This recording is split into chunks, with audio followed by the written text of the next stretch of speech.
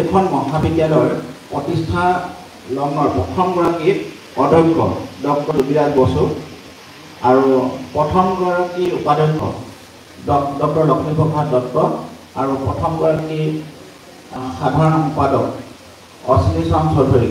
আমি বিভিন্ন সময়ত স্মৰণ কৰি আহিছোঁ। আৰু শিক্ষকোটে এ- এটা বক্তৃতাৰ মাধ্যমেৰে যোগীৰাজ বক্সু তেওঁ প্ৰ- প্ৰাক্তন অধ্যক্ষ প্ৰতিষ্ঠাপক অধ্যক্ষ তেওঁ জীপাল কৰি ৰাখিবৰ কাৰণে জীয়াই ৰাখিবৰ কাৰণে শিক্ষকসকলে চেষ্টা কৰি আহিছে। মই ধন্যবাদ জনাইছোঁ যে পঁচিছটা বক্তৃতা ইতিমধ্যে সম্পন্ন হৈছে। আমি অচিনী চৰণ চৌধুৰীক এটা ভৱনো আমি নামাকৰণ কৰিছোঁ। ছায়েন্স এণ্ড টেকন'লজি বিল্ডিং এটা আমি তেখেতৰ নামত উৎসৰ্গা কৰিছোঁ। আৰু ইয়াৰ প্ৰথমগৰাকী সম্পাদক অচিনী চৰণ চৌধুৰীৰ নামতো আমি আমাৰ গ্ৰন্থাগাৰটো নামাকৰণ কৰিছোঁ। আৰু ল- লক্ষ্মীপ্ৰসাদ দত্ত প্ৰতিষ্ঠাপক উপাধ্যক্ষ তেখেতৰ নামতো আমি এটা বাৰ্ষিক বক্তৃতা আয়োজন কৰিছোঁ আৰু বিভিন্ন সময়ত তেখেতৰ বিষয়ে আমি আলোচনা কৰি আহিছোঁ ইতিমধ্যে গ্ৰন্থ প্ৰকাশ পাইছে। আজি প্ৰথমগৰাকী অধ্যক্ষ মই ছাত্ৰ ছাত্ৰীসকলক ক'ব বিচাৰিছোঁ যে মই বিভিন্ন সময়ত কৈ আহিছোঁ যে আমাৰ যিসকল অধ্যক্ষ পৰৱৰ্তী অধ্যক্ষ আমি ইয়াত আছোঁ সেইসকলে তেওঁলোকে কৰি যোৱাৰ পিছতহে আমি আছোঁ। গতিকে তেখেতৰ নামত যিটো বক্তৃতা হওক বা যি অনুষ্ঠানে হওক আয়োজন নকৰক লাগে সদায় খুব মন পুতি শুনিবৰ কাৰণে মই ছাত্ৰ ছাত্ৰীসকলক কওঁ।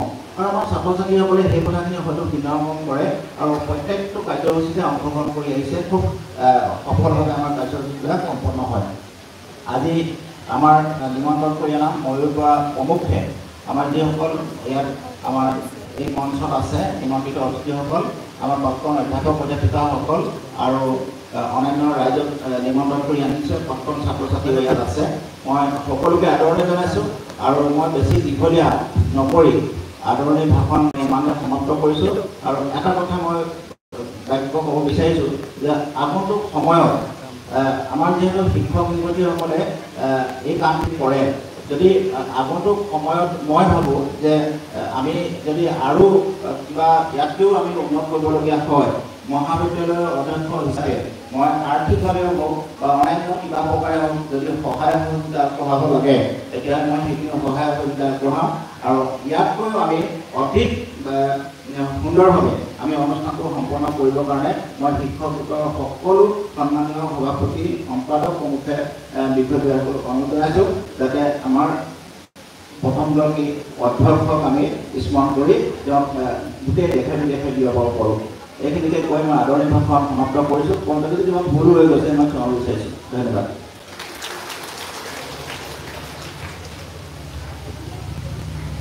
ধন্যবাদ ছাৰ ইয়াৰ পাছতে আছে আমাৰ বক্তৃতা অনুষ্ঠান উদ্বোধন উদ্বোধন কৰিব আমি নিমন্ত্ৰণ কৰি অনা আমাৰ কলেজৰ প্ৰাণী বিজ্ঞান বিভাগৰ প্ৰাক্তন অধ্যাপিকা সুদক্ষিণা দাস বাইদেউ। উদ্বোধনৰ প্ৰথমতে পৰিচয় দাঙি ধৰিব ডক্টৰ নিৰ্মালী পেগুৱে গতিকে নিৰ্মালী পেগুক মই মঞ্চলৈ নিমন্ত্ৰণ কৰিছোঁ। তাৰপিছতে উদ্বোধন কৰিব সুদক্ষিণা দাস বাইদেৱে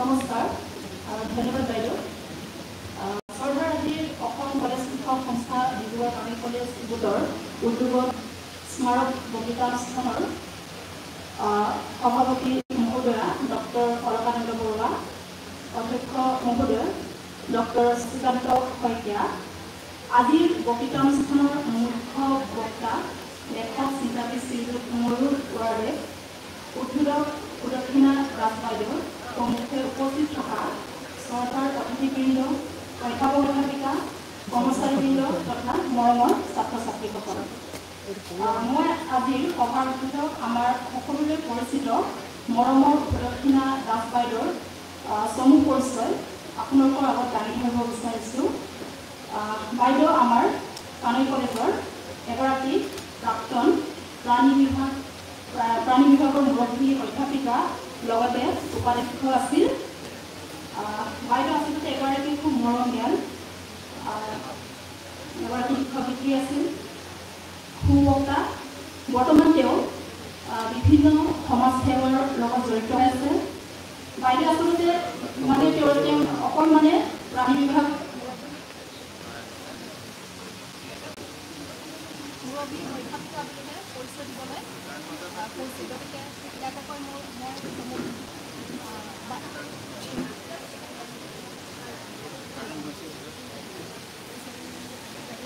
কি হ'ল এইটো? দীপংকৰ? কি হ'ল?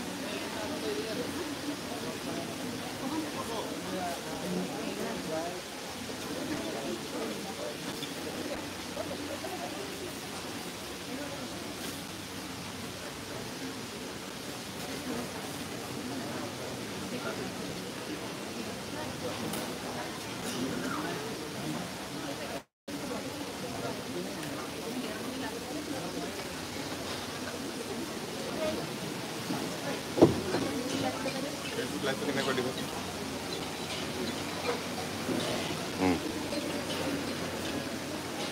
অঁ সেইটো ন অঁ ঠিক আছে হ'ব এতিয়া এতিয়া নালাগে পিছত কৰিম এতিয়াতো হোৱা নাই গ'লা কৰিলে আহিব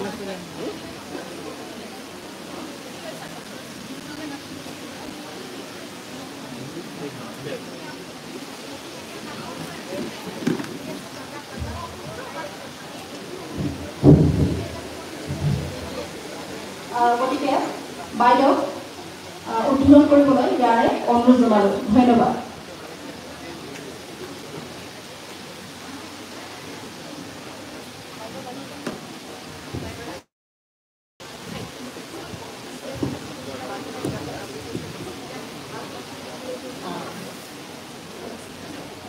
আচলতে ইমান সাত সজ্জাৰ মাজত কথা কোৱাৰ অভ্যাস বৰকৈ নাই সেইকাৰণে কিছু পৰিমাণে নাৰ্ভাছ হৈ গৈছোঁ তথাপি মঞ্চত আসীন আজিৰ সভাৰ সভাপতি তথা অসম কলেজ শিক্ষক সন্থাৰ কানৈ কলেজ গোটৰ সভানেত্ৰী মোৰ মৰমৰ ছাত্ৰী অলকা বৰুৱা অলকানন্দ ডক্টৰ অলকানন্দা বৰুৱা ডিব্ৰুগড় হনুমান বস চূড়ামল কানৈ মহাবিদ্যালয়ৰ পৰিচালনা সভ- সমিতিৰ সভাপতি আমাৰ চেনেহৰ আৰু শ্ৰদ্ধাৰ অভিমন্যু বৰুৱা।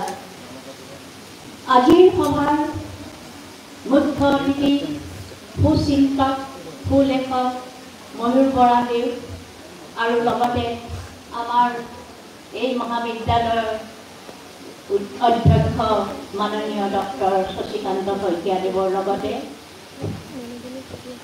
মোৰ আছিল তাৰ ভিতৰত মই দেখিবলৈ পাইছোঁ আমাৰ পৰম শ্ৰদ্ধাৰ মুনীন শৰ্মা ছাৰক তেখেতলৈ শ্ৰদ্ধা যাচিছোঁ এই সকলোকে মই শ্ৰদ্ধা যাচিছোঁ লগতে এই মহাবিদ্যালয়তে এসময়ৰ আমাৰ সতীৰ্থ পাছলৈ মনোহাৰী দেৱী মহিলা মহাবিদ্যালয়ৰ প্ৰাক্তন অধ্যক্ষ ডক্টৰ দিলীপ কুমাৰ ভূঞা আৰু এই মহাবিদ্যালয়ৰ উপাধ্যক্ষ বৰ্তমানৰ উপাধ্যক্ষ ডক্টৰ প্ৰিয়দীপ গোস্বামীকে আদি কৰি মোৰ সমূহ অগ্ৰজ আৰু অনুজ সতীৰ্থসকল এই মহাবিদ্যালয় সদায় চালিত কৰি ৰখা কাৰ্যালয়ৰ সমূহ বিষয়ববীয়া তথা কৰ্মচাৰীসকল আৰু মৰমৰ ছাত্ৰ ছাত্ৰীসকল মোৰ আন্তৰিক শ্ৰদ্ধা আৰু সম্ভাষণ গ্ৰহণ কৰিব। আজি পঁচিছ সংখ্যক ডক্টৰ যোগীৰাজ বসু স্মাৰক পত্ৰিকামালাৰ এই আয়োজনত থিয় হ'বলৈ পাই মই নিজকে ধন্য মানিছোঁ। আজি পুৰণৰ মাজেদি পাৰ হৈ আহোঁতে মোৰ এক আচৰিত সংযোগৰ কথা মনত পৰি নিজকে আৰু শিখৰক অনুভৱ কৰিছোঁ নিজৰ মাজত যে আজিৰ পৰা বহু বছৰ আগতে ঊনৈছশ পঁচাশী চনত ঠিক আজিৰ দিনটোতে দুই ছেপ্টেম্বৰৰ দিনা মই এই মহাবিদ্যালয়ত প্ৰথম যোগদান কৰিবলৈ সোমাই আহিছিলোঁ। আৰু সেইদিনাখনেই মোৰ লগত আছিল এই মহাবিদ্যালয়ৰ পৰা অৱসৰ গ্ৰহণ কৰা গ্ৰন্থকাৰিকা শ্ৰীযুতা নিৰলা দত্ত আৰু উপাধ্যক্ষ উপা অৱসৰ গ্ৰহণ কৰা শ্ৰী নৰেন্দ্ৰ কুমাৰ মাহেলা। আমি তিনিজনে একেলগে আজিৰ দিনটোত দুই ছেপ্টেম্বৰৰ দিনাখন এই মহাবিদ্যালয়ত যোগদান কৰিছিলোঁ। সেই সোঁৱৰণি আজিও মানে মোৰ কাৰণে এটা পৰম প্ৰাপ্তি ডক্টৰ যোগীৰাজ বসুদেৱৰ কথা থোৰতে ইতিমধ্যে আমাৰ সম্পাদকে কৈ গৈছে। গতিকে মই সেই কথা আৰু তেখেতৰ কথা প্ৰায় সকলোৱে জানে। গতিকে মই সেই কথা আৰু দীঘলীয়া নকৰোঁ। কেৱল কওঁ যে এইগৰাকী মহান ঋষিকল্প প্ৰতিষ্ঠাপক অধ্যক্ষৰ মহাবিদ্যালয়ত মই যে সংযুক্ত হৈ আছিলোঁ সেয়াই মোৰ বাবে এক পৰম প্ৰাপ্তি। এই আকাশতে মই সেই প্ৰতিষ্ঠাপক অধ্যক্ষ ডক্টৰ যোগীৰাজ বসুদেৱলৈ লগতে প্ৰতিষ্ঠাপক সম্পাদক শ্ৰী প্ৰয়াত অশ্বিনী চৰণ চৌধুৰী দেৱলৈ আৰু প্ৰতিষ্ঠাপক উপাধ্যক্ষ ডক্টৰ লক্ষ্মীপ্ৰসাদ দত্তদেৱলৈ মোৰ আন্তৰিক প্ৰণতি জ্ঞাপন কৰিছোঁ এই ডক্টৰ যোগীৰাজ বসু স্মাৰক বক্তৃতা যি আৰম্ভ হৈছিল ঊনৈছশ পঁচাশী চনৰ এক দিৱসমানত আৰু ইয়াত আজি এই পঁচিছ সংখ্যৰ ৰূপালী বক্তৃতাটি প্ৰায় ক'ব পাৰি এই বক্তৃতামালাৰ ৰূপালী জয়ন্তী অনুষ্ঠিত হৈছে বুলি আৰু আমাৰ আন অনেক আনন্দৰ কথা যে ঊনৈছশ পঁচাশী চনত যিগৰাকী কানৈ কলেজ শিক্ষক গোটৰ যিগৰাকী সম্পাদকে এই বক্তৃতামালাৰ শুভ আৰম্ভণি কৰিছিলে সেইগৰাকী ব্যক্তি আমাৰ পৰম শ্ৰদ্ধাৰ ড- ননীন শৰ্মা ছাৰ আজি আমাৰ মাজত উপস্থিত আছে। আৰু এই কথাই নিশ্চয় এই বক্তৃতামালাৰ এই অংগন দুগুণে পুনৰ শুৱনি কৰিছে। আৰু এই বক্তৃতামালাৰ প্ৰয়োজনীয়তা কি?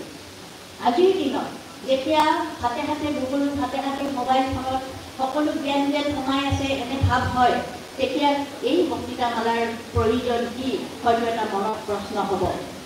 কিন্তু আমি এটা কথা জানিব লাগিব আৰু এই কথা মোক পৰহি আমি আলোচনা কৰোঁতে ডক্টৰ আতিকুদ্দিন আহমেদে কৈছিলে যে যেতিয়া তেখেতে প্ৰথম ইকনমিক্সত অৰ্থনীতি বিজ্ঞানত ছাত্ৰ হৈ সোমাইছিলে তেতিয়া সেই বিভাগৰ মেহেদি হাছান ছাৰে মুৰব্বী অধ্যাপক আছিলে কৈছিলে তুমি ইকনমিক্সৰ অনাৰ্ছ লৈছা কেৱল ইকনমিক্স পঢ়িলে নহ'ব অকল ইকনমিক্স পঢ়িলে ইকনমিক্স শিকিব নোৱাৰে।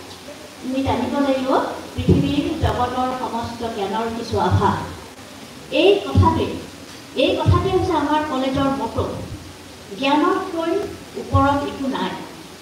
জ্ঞানত পৰতৰ নহিন নাথিং বেটাৰ দেন নলেজ অলপ আগতে সমবেত সংগীত সেই কথা ধ্বনিত হৈ গৈছে। আমাৰ দেশ ব্যক্তি পূজাৰ দেশ যিকোনো কথাতে পূজা আৰম্ভ হৈ যায়। কিন্তু আজি যি অনুষ্ঠানত আমি সমবেত হৈছোঁ এনে অনুষ্ঠানত আচলতে অৰ্চনাহে হয়। অৰ্চনা হৈছে উজ্জ্বল কৰা। বহি মাজি যুক্তিৰে বুদ্ধিৰে চিন্তাৰে শানিত কৰা জ্ঞান সেয়ে আমাৰ পৰম ভাগ্য যে আজি আমাৰ কলেজত এই বক্তৃতামালাৰ পঁচিছ সংখ্যক বক্তৃতা অনুষ্ঠিত হ'বলৈ গৈ আছে। আমি কোনেও সকলো বিষয়ৰ সকলো গ্ৰন্থ অধ্যয়ন কৰিব নোৱাৰোঁ। আৰু কিন্তু তাৰ ফলত?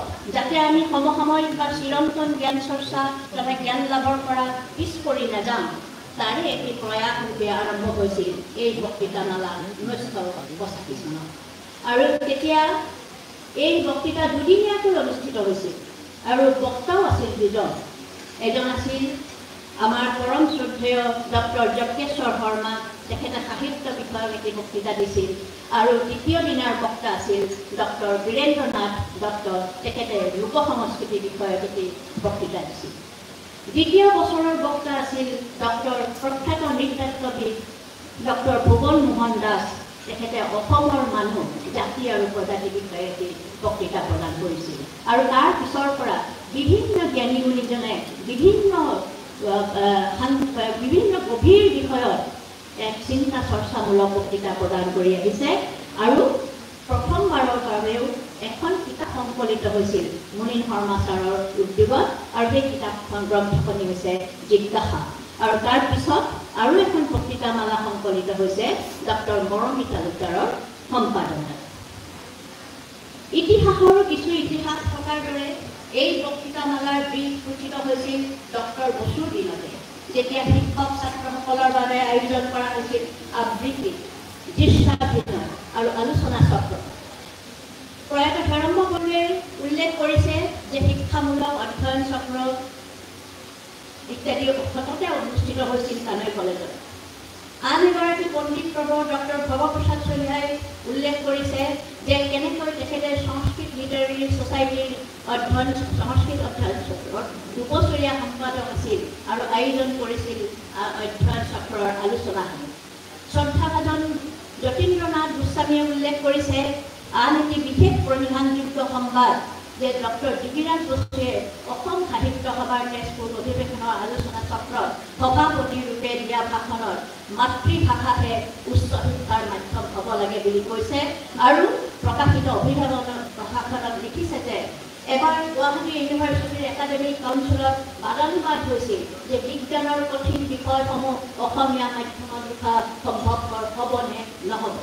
তেতিয়া ডক্টৰ বসুৱে ডক্টৰ ৰাধানাথ ফুকনৰ লেখনিৰ কথা উল্লেখ কৰি কৈছিল যে অসমীয়া ভাষাটো উচ্চমানৰ বিজ্ঞানৰ প্ৰথম পাঠন সম্ভৱপৰ। আজি এই ৰূপটি আমি নতুনকৈ পঢ়িবলগীয়া হৈছে কিয়নো এতিয়া প্ৰস্তাৱিত হৈছে স্কুলীয়া পাঠ্যক্ৰমত বিজ্ঞান আৰু গণিতৰ শিক্ষা ইংৰাজী মাধ্যমত হ'ব লাগিব। এই কথা আমি আজি ডক্টৰ বসুৰ কথা আজি আমি পুনৰ চিন্তা কৰিব লাগিব। পৃথিৱীৰ এক অতি দুৰ্যোগময় অতিমাৰীৰ দিন আমি অতিক্ৰম কৰিলোঁ। যি সময়ত এনেকুৱা এটা পৰিস্থিতি গৈছিল যে কাব্যৰীতি নীলমণি ফুকনৰ ভাষাত ক'বলৈ গ'লে কেনে আছোঁ মোক নুসুধিবা ময়ো মোক সোধা নাই। অৰ্থাৎ আমি ইমান এটা দুৰ্যোগৰ সন্মুখীন হৈছিলোঁ যে আমাৰ হৃদয়ত থকা সমস্ত বিশ্বাসৰ শিপা যেন উফালি পৰিছিল। যেন পৃথিৱী ধ্বংস হ'বলৈ গৈ আছিল তেনেকুৱা এটা ভাৱ হৈছিল। কিন্তু তেনে পৰিস্থিতিৰ পাছতো কানৈ কলেজ শিক্ষক সন্থাই এই বক্তৃতামালা পুনৰ আয়োজন কৰিলে। চৌদিশে আৰি দিছে হেঁপাহৰ জাননী। পৃথিৱী আছে পৃথিৱী থাকিব মানুহ আছে মানুহ থাকিব আৰু থাকিব জ্ঞানৰ নিৰন্তৰ চৰ্চা।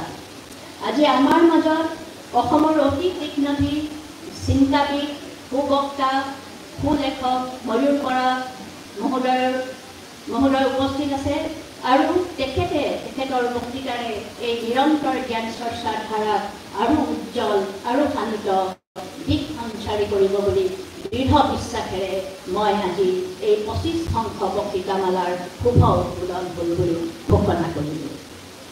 জয়তু ডিব্ৰুগড় হনুমান মঠ সুৰতমল কানৈ মহাবিদ্যালয় জয়তু ডিব্ৰুগড় হনুমান মঠ সুৰতমল কানৈ মহাবিদ্যালয়ৰ শিক্ষক গোট জয় জয় আৰু জয়।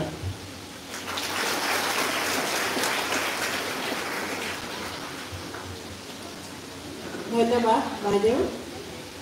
সুদক্ষিণা বাইদেউ সকলোৱে আমি মৰমতে মিঠু বাইদেউ বুলি মাতোঁ। নতুনকৈ অহা ছাত্ৰ ছাত্ৰীসকলে নাজানে মই সেইকাৰণে কৈ দিছোঁ বা নতুনকৈ অহা আমাৰ যিসকল শিক্ষক জইন কৰিছে ইয়াত নতুনকৈ তেওঁলোকে নাজানে আমি সকলোৱে বাইদেউ মিঠু বাইদেউ বুলিয়ে চিনি পাওঁ। বাইদেউৰ যেনেকৈ নাম তেনেকৈ বাইদেউৰ কথা বতৰা। মই বাইদেউৰ ছাত্ৰী আছিলোঁ গতিকে বাইদেউৰ ক্লাছটো আমি খুব মন্ত্ৰমুগ্ধ হৈ শুনো এনেকৈ এনেকৈ বাইদেৱে কথা শুনি আছোঁ উপলব্ধি কৰিছে বাইদেউ ক্লাছত কেনেকুৱা হ'ব। মিঠা কথাবোৰ সেইকাৰণে বাইদেউ মিঠু মিঠু বাইদেউ। আৰু এটা কথা আমি বাইদেউ আজি উপলব্ধি কৰিছোঁ আমাৰ শিক্ষক সন্থাই কালৈ কলেজ গোট- গোটৰ শিক্ষক সন্থাই যিটো আগতেই যি আমাৰ এটা সিদ্ধান্ত লোৱা আছিলে যে আমাৰ সদায় উদ্বোধন বা উদ্বোধকৰ ভাষণটো সদায় আমাৰ ইয়াৰ পৰা ৰিটায়াৰ হৈ যোৱা বা অৱসৰ লোৱা শিক্ষক বা শিক্ষয়িত্ৰীহে কৰিব পাৰিব এনেকুৱা এটা আমাৰ নিয়ম প্ৰচলিত হৈ আছে। তাৰ যথাৰ্থতা এতিয়া সকলোৱে বোধহয় অনুভৱ কৰিছে। আমি বহুতখিনি কথা আমি নতুন শিক্ষক শিক্ষয়িত্ৰীসকলে আৰু নতুন ছাত্ৰ ছাত্ৰীসকলে বহুতো নজনা কথা আনকি ময়ো এটা দুই এটা বাইদেউৰ পৰা এতিয়া নতুনকৈ কিছুমান কথা গম পালোঁ। গতিকে এইটো আজি অনুভৱ হৈছে আমাৰ অৱসৰ আৰু আৰু এটা আমাৰ এটা কথা এই দিনটোতে আমি সকলোৱে লগ হওঁ। এটা দিন আমাৰ ইয়াৰ পৰা যিসকল শিক্ষক শিক্ষয়িত্ৰী অৱসৰ লৈ গ'ল তেখেতসকলো ইয়াত যিমান পাৰে সুবিধামতে সকলো আহে। গতিকে এইটো আমাৰ এটা আচলতে এটা মিলনৰ দিন বুলি ক'ব পাৰি। যোগীৰাজ বসু সোঁৱৰণি আৰু লগতে শিক্ষক শিক্ষয়িত্ৰীসকলৰ এটা মিলনৰ দিন। গতিকে এইটো খুব সুন্দৰ বাইদেউ খুব খুব ভাল লাগিলে বাইদেউ। আকৌ আকৌ পুনৰবাৰ মই ধন্যবাদ দিছোঁ বাইদেউ। নিশ্চয় ছাত্ৰ ছাত্ৰীসকল উপকৃত হৈছে বাইদেউৰ বক্তৃতাৰ পৰা। ইয়াৰ পিছতে আছে আমাৰ প্ৰীতি উপহাৰ। মই আমাৰ সম্পাদকক অনুৰোধ জনাম ইয়াৰ হাত ধৰিবলৈ।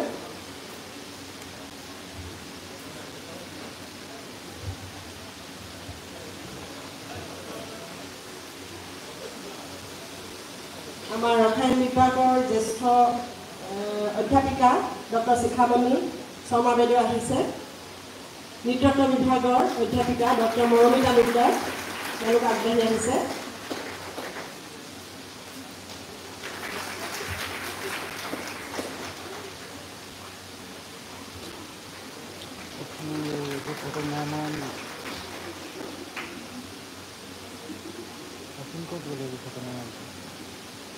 ইয়াৰ পিছতে আছে আমি অথনিৰ পৰা আগ্ৰহেৰে ৰৈ থকা সকলোৱে আমাৰ আজি মধ্যমণি ময়ূৰ বৰা দেৱৰ বক্তৃতা।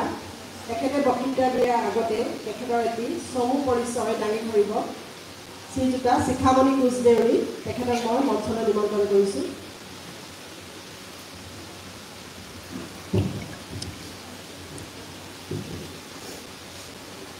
আজি চিৰনমস্য ডক্টৰ জ্যোতিৰাজ বসুদেৱৰ স্মাৰক বক্তৃতানুষ্ঠান সভাত উপস্থিত থকা সন্মানীয় আৰু শ্ৰদ্ধাৰ সকলোকে প্ৰথমে মোৰ প্ৰণিপাত আৰু সুপ্ৰভাত জনাইছোঁ। অসম কলেজ শিক্ষক সংস্থা কানৈ মহাবিদ্যালয়ৰ শিক্ষক গোটে আমন্ত্ৰণ কৰি অনা নিৰ্দিষ্ট বক্তা আমাৰ সকলোৰে পৰিচিত সন্মানীয় আৰু শ্ৰদ্ধাৰ শ্ৰীযুত ময়ূৰ বৰাদেৱৰ বিষয়ে এটি চমু পৰিচয় দিবৰ বাবে মই আগবাঢ়িছোঁ। শ্ৰীযুত ময়ূৰ বৰাদেৱ এজন বিশিষ্ট লেখক সমালোচক চিন্তাবিদ আৰু গৱেষক পণ্ডিত। ময়ূৰ বৰাদেৱৰ জন্ম হয় ঊনৈছশ সত্তৰ চনৰ দহ জুনত নগাঁৱত। নগাঁৱত তেওঁৰ জন্ম হৈছিল যদিও গুৱাহাটীতে তেওঁ ডাঙৰ দীঘল হৈছিল।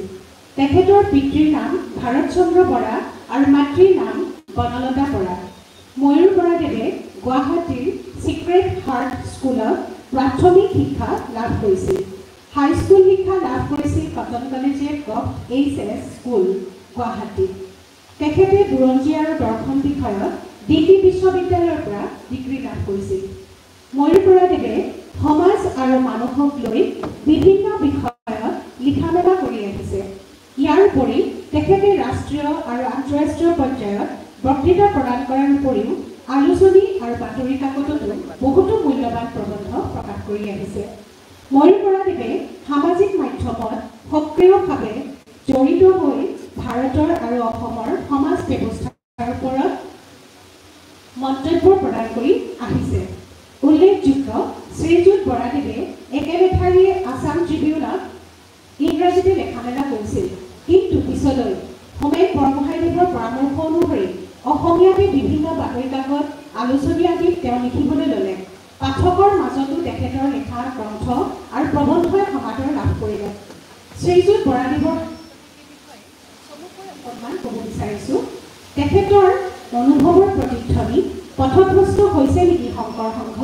প্ৰত্যাহাৰ প্ৰতিলিপি ব্ৰাহ্মণবাদৰ কলিয়াদাৱৰ আৰু অসম আৱেগৰ শুৱনি ভাবি চেতনাৰ স্পন্দন জাতিভেদ প্ৰথা আৰু শংকৰদেৱ চিন্তাৰ ভগ্নাংশ হিন্দু ধৰ্মৰ ঈশ্বৰ আৰু নাস্তিকতা ভগৱানৰ স্বৰলিপি চিৰদিন অসমীয়া ইত্যাদি লেখনিৰ মাজত তেখেতৰ পাণ্ডিত্যৰ পৰিচয় পোৱা যায়।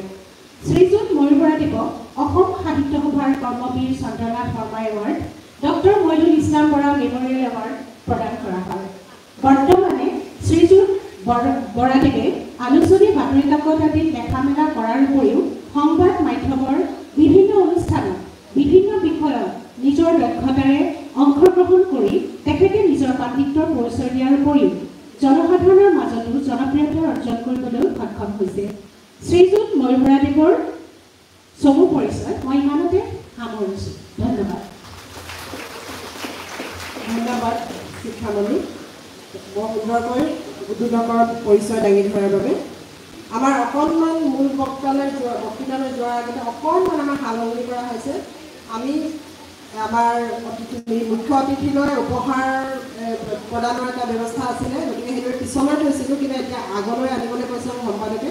গতিকে এতিয়া আছে আমাৰ উপহাৰ প্ৰদান। শ্ৰীযুত মে- ময়ূৰ বৰালৈ উপহাৰ প্ৰদান আমাৰ গোটৰ ফালৰ পৰা। আৰু আমাৰ দুই এজন শিক্ষক শিক্ষকৰ ফালৰ পৰা আমাৰ উপহাৰ প্ৰদানৰ কথা কৈছে। গতিকে তেখেতসকলক মই আগবাঢ়ি আহিবলৈ অনুৰোধ জনালোঁ।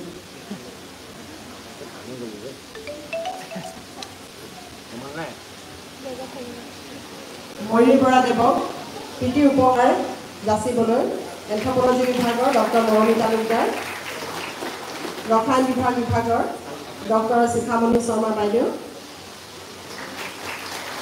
আৰু এন্থ্ৰপলজি বিভাগৰ ডক্টৰ ঋতুমণি শইকীয়াক কিতাপৰ টুকুৰা আগবঢ়াইছে গোটৰ সম্পাদক ডক্টৰ দীপংকৰ গগৈয়ে এটি উপহাৰ আগবঢ়াইছে।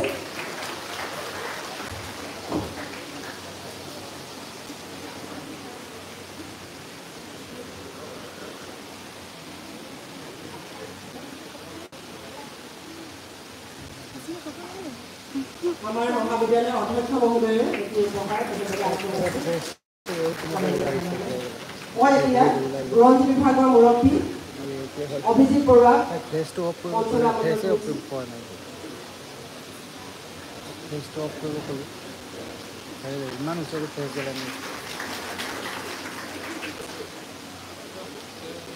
ধন্যবাদ সকলোলৈকে।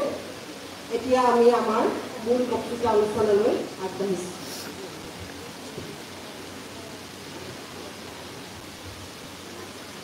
আপোনালোকৰ অনুমতি লৈ মানে মঞ্চত বহি থকা জ্ঞান প্ৰজ্ঞা অভিজ্ঞতা সকলো দিশৰ পৰা জ্যেষ্ঠ মই অকণমান আগলৈ যাব বিচাৰিছোঁ কাৰণ আনন্দিত হৈছোঁ পুলকিত হৈছোঁ আৰু ডিব্ৰুগড়ৰ এই হনুমান বক সুৰজ বল কানৈ মহাবিদ্যালয়ৰ বিভিন্ন কথা শুনি আছিলোঁ আৰু আনুষ্ঠানিকতাৰ বৃত্তটোলৈ যোৱাৰ আগতে মই ছাত্ৰ ছাত্ৰীসকলক তোমালোকে আচলতে মোৰ আজি আশা কাৰণ আমাৰ মঞ্চত যিসকল লোক বহি আছে বা সন্মুখৰ পাঁচ ছয় শাৰী আসনত যিসকল অধ্যাপক অধ্যাপিকা বহি আছে তেওঁলোকৰ চকুলৈ যদি মই বৰ বেছিকৈ চাওঁ মই আতংকিত হৈ পৰোঁ মই সন্ত্ৰাসিত হৈ পৰোঁ। আৰু ইমান আতংকিত আৰু সন্ত্ৰাসিত হৈ পৰিলে মই হয়তো ভালদৰে কথাখিনি ক'ব নোৱাৰিম। গতিকে তোমালোকে আশা মই এইবাবে কৈছো যে ইয়াত ইতিমধ্যে আনুষ্ঠানিকতালৈ আমি যোৱা নাই কাৰণ এইটো এটা আনুষ্ঠানিক পৰ্ব তালৈ যাব লাগিব।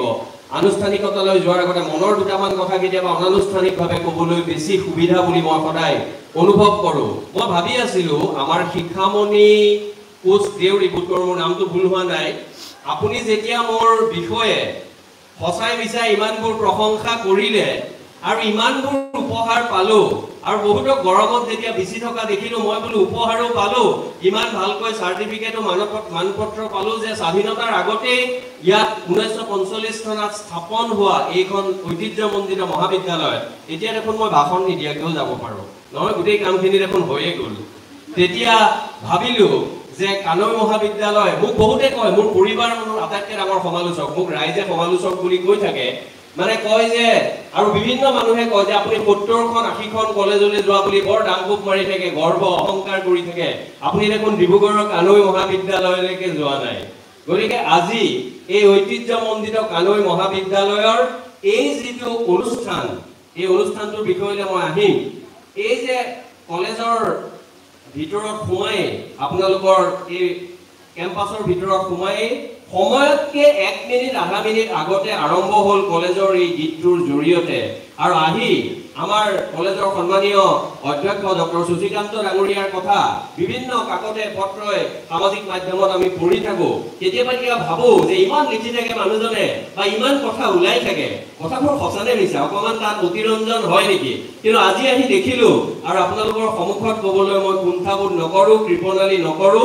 মই ভাবো এইখন মহাবিদ্যালয়ৰ এইটো অনুষ্ঠানত মই আহি ইয়াত থিয় হ'ব পৰাটো মোৰ বাবে পৰম ভাগ্য আৰু সেইবাবে কানৈ মহাবিদ্যালয়ৰ লগত জড়িত থকা প্ৰতিজন মানুহ আৰু প্ৰতিজন মানুহৰ সপোনৰ যিটো সাকাৰ ৰূপ আজি দেখিছো বহু লোক আমাৰ মাজত নাই। কিন্তু ছাত্ৰ ছাত্ৰীসকল শিক্ষকসকল প্ৰাক্তন শিক্ষকসকল ইয়াত থকা পৰিচালনা সমিতিৰ সভাপতিকে আদি কৰি সকলো লোককে মই নমস্কাৰ জনাইছো শ্ৰদ্ধা জনাইছো যে অসমৰ বৌদ্ধিক আৰু বিদ্যায়তনিক জগতৰ এক প্ৰধান প্ৰাণ স্পন্দন হৈছে ডিব্ৰুগড়ৰ কানৈ মহাবিদ্যালয়। আৰু সেই কানৈ মহাবিদ্যালয়ত আপোনালোকৰ আগত উপস্থিত হৈ মই নথৈ আনন্দিত আৰু মোক যিটো গুৰু দায়িত্ব দিছে সেই গুৰু দায়িত্বৰ প্ৰতি মই এতিয়া যাব বিচাৰিছো আৰু গুৰু দায়িত্ব বুলি ক'লেই আজি অসম কলেজ শিক্ষক সংস্থাৰ ডিব্ৰুগড়ৰ এই কানৈ মহাবিদ্যালয়ৰ গোটৰ সন্মানীয় অধ্যক্ষ আৰু সভাৰ আজিৰ সভাপতি ডক্টৰ অলকানন্দ বড়ো অলকানন্দা বৰুৱা ডাঙৰীয়া। ইয়াত উপস্থিত থকা পৰিচালনা সমিতিৰ সভাপতি অভিম- অভিমন্যু বড়ো ডাঙৰীয়া উপস্থিত থকা এই মহাবিদ্যালয়খনৰ গতিশীল অধ্যক্ষ ডক্টৰ শশীকান্ত শইকীয়া ডাঙৰীয়া আমাক ইতিমধ্যে অতি নাতিদীৰ্ঘ ভাষণৰ জৰিয়তে ডক্টৰ যোগীৰাজ বসু ডক্টৰ লক্ষ্মীপ্ৰসাদ দত্ত আৰু এই মহাবিদ্যালয়খন স্থাপন হোৱাৰ আঁৰৰ কথা অত্যন্ত সুন্দৰভাৱে ব্যক্ত কৰা আমাৰ সুদক্ষিণা দাস বাইদেউ আৰু দীপাংকজ গগৈ যি দীপাংকজ গগৈক যোৱা পোন্ধৰ বিছ দিন ধৰি মই নানান ধৰণেৰে ব্যতিব্যস্ত কৰি ৰাখিছিলো যেতিয়া আমাৰ আনুষ্ঠানিক পৰ্ব শেষ হ'ব আপোনালোকৰ সন্মানীয় শিক্ষক শিক্ষয়িত্ৰীয়ে সুধিলে তেওঁ ক'ব যে ময়ূৰ বৰাৰ দৰে গণ্ডগোলীয়া মানুহক এনেকুৱা অনুষ্ঠানলৈ মতাৰ বিড়ম্বনা কিমান কিমান দিগদাৰি দিয়ে। ধন্যবাদ জনাইছো দীপাংকজ গগৈ মঞ্চৰ সন্মুখত বহি থকা শিক্ষক শিক্ষয়িত্ৰী প্ৰাক্তন শিক্ষক শিক্ষয়িত্ৰী ছাত্ৰ সমাজ। আজি তোমালোকৰ চকুলৈ চায়েই ভূপেন হাজৰিকাই কোৱাৰ দৰে যে মোৰ গীতৰ হেজাৰ শ্ৰোতা তোমাক নমস্কাৰ গীতৰ সভাত তুমি এইটো প্ৰধান অলংকাৰ মই এই বিষয়বস্তুলৈ যাব বিচাৰিছো কিন্তু তাৰ আগতে এই দুজন ব্যক্তি ডক্টৰ যোগীৰাজ বসু আৰু ডক্টৰ লক্ষ্মীপ্ৰসাদ দত্ত তেওঁলোকৰ যি অতুলনীয় ত্যাগ তেওঁলোকৰ যি পাণ্ডিত্য আৰু সমাজৰ প্ৰতি কাম কৰাৰ এই যে মন এই যে দৃঢ়তা এই যে নিষ্ঠা এই যে সততা এই গোটেইখিনি কথাক মই সন্মান জনাইছো আৰু সন্মিলিত সমন্বয়ৰ এক উজ্জ্বল দৃষ্টান্ত হিচাপে মোৰ ভাবি ভাল লাগিছে জানি ভাল লাগিছে উপলব্ধি কৰি ভাল লাগিছে যে শিক্ষক সংস্থাই ডক্টৰ যোগীৰাজ বসু ডাঙৰীয়াৰ স্মৃতি যুগমীয়া কৰাৰ অৰ্থে আৰু কলেজ কৰ্তৃপক্ষই ডক্টৰ দত্ত ডাঙৰীয়াৰ স্মৃতি যুগমীয়া কৰাৰ বাবে এইখন মহাবিদ্যালয়তে দুটা অনুষ্ঠান তেওঁলোকে সম্পন্ন কৰে। আনৰ বাবে নহ'লেও ছাত্ৰীসকল কিহৰ বাবে তোমালোক নীৰৱ নিশব্দ হৈ আছা মই নাজানো। তেওঁলোকৰ প্ৰতি তোমালোকে এটা হাত চাপৰি মৰা উচিত। তোমালোকে হাত চাপৰি ডাঙৰীয়া কি হ'ল? কাৰেণ্ট গৈছে এইটো ঠিক কৰক মই বাৰু হয়তো শুনা শেষৰ গৰাকীয়ে শুনা পাইছে নাই? পাইছা? মাতটো বৰ ডাঙৰ। ঘৰত সৰু ঘৰত বৰকে মাতিব নোৱাৰো। কলেজত নানান মানুহে মাতে নানান আ, সভা সমিতিলৈ আহিব লগা হয়। গতিকে তেতিয়া এনেকে কথা কওঁতে কওঁতে অলপমান অভ্যাস হৈ গৈছে। গতিকে মই আশা ৰাখিম যে অনতি পলমে ইয়াত যিটো বিদ্যুৎ ভূপেন হাজৰিকাই এটা গানত কৈছিল মুমূৰ্ষু মানুহক জীৱনৰ বিদ্যুৎ কিঞ্চিত উলটি দিব পাৰোঁ। এতিয়া বহু ক্ষেত্ৰত কেতিয়াবা কেতিয়াবা লাগে অসমৰো একাংশ অসমীয়া মানুহ টকা পইচা হৈছে গাড়ী ঘোঁৰা হৈছে কিন্তু নিজৰ চিনাকি নিজৰ স্বাভিমান নিজৰ মেৰুদণ্ড এইবোৰ কথালৈ আমি যেন বৰ বেছি উদ্বিগ্ন হৈ থকা নাই। তেনে মানুহৰ বিদ্যুৎ বৰ্তমান সময়ত আজি বিদ্যুতৰ এতিয়া যিমান প্ৰয়োজনীয়তা মই ভাবোঁ অসমীয়া জাতীয় জীৱনক সেই মুমূৰ্ষু মানুহজাকক কিছু বিদ্যুতৰ দৰকাৰ হৈছে। আৰু সেই বিদ্যুৎ নতুন প্ৰজন্মই দিব পাৰিব লাগিব। পাৰিবা নোৱাৰা? নাই জোৰ নাই। পাৰিবা নে নোৱাৰা? পাৰিবা। আৰু এইফালে তোমাৰ কি লাগিছে? মুমূৰ্ষু মানুহৰ বিদ্যুতৰ কথা বেলেগ এই বিদ্যুৎটো কিমান সময়ৰ ভিতৰত আহিব? আন্তাজ এইখন কলেজটো ভাল পোৱা? এই A C B A P D C এলকো ভাল পোৱা? মোৰ বিশ্বাস ইয়াৰ শক্তি মন্ত্ৰীজনকো ভাল পোৱা। আমাৰ বিমল বৰা নহয় জানো? কোন? আজিকালি বেলেগ হ'ল। নন্দিতা গাৰ্গছা নেকি? হয়।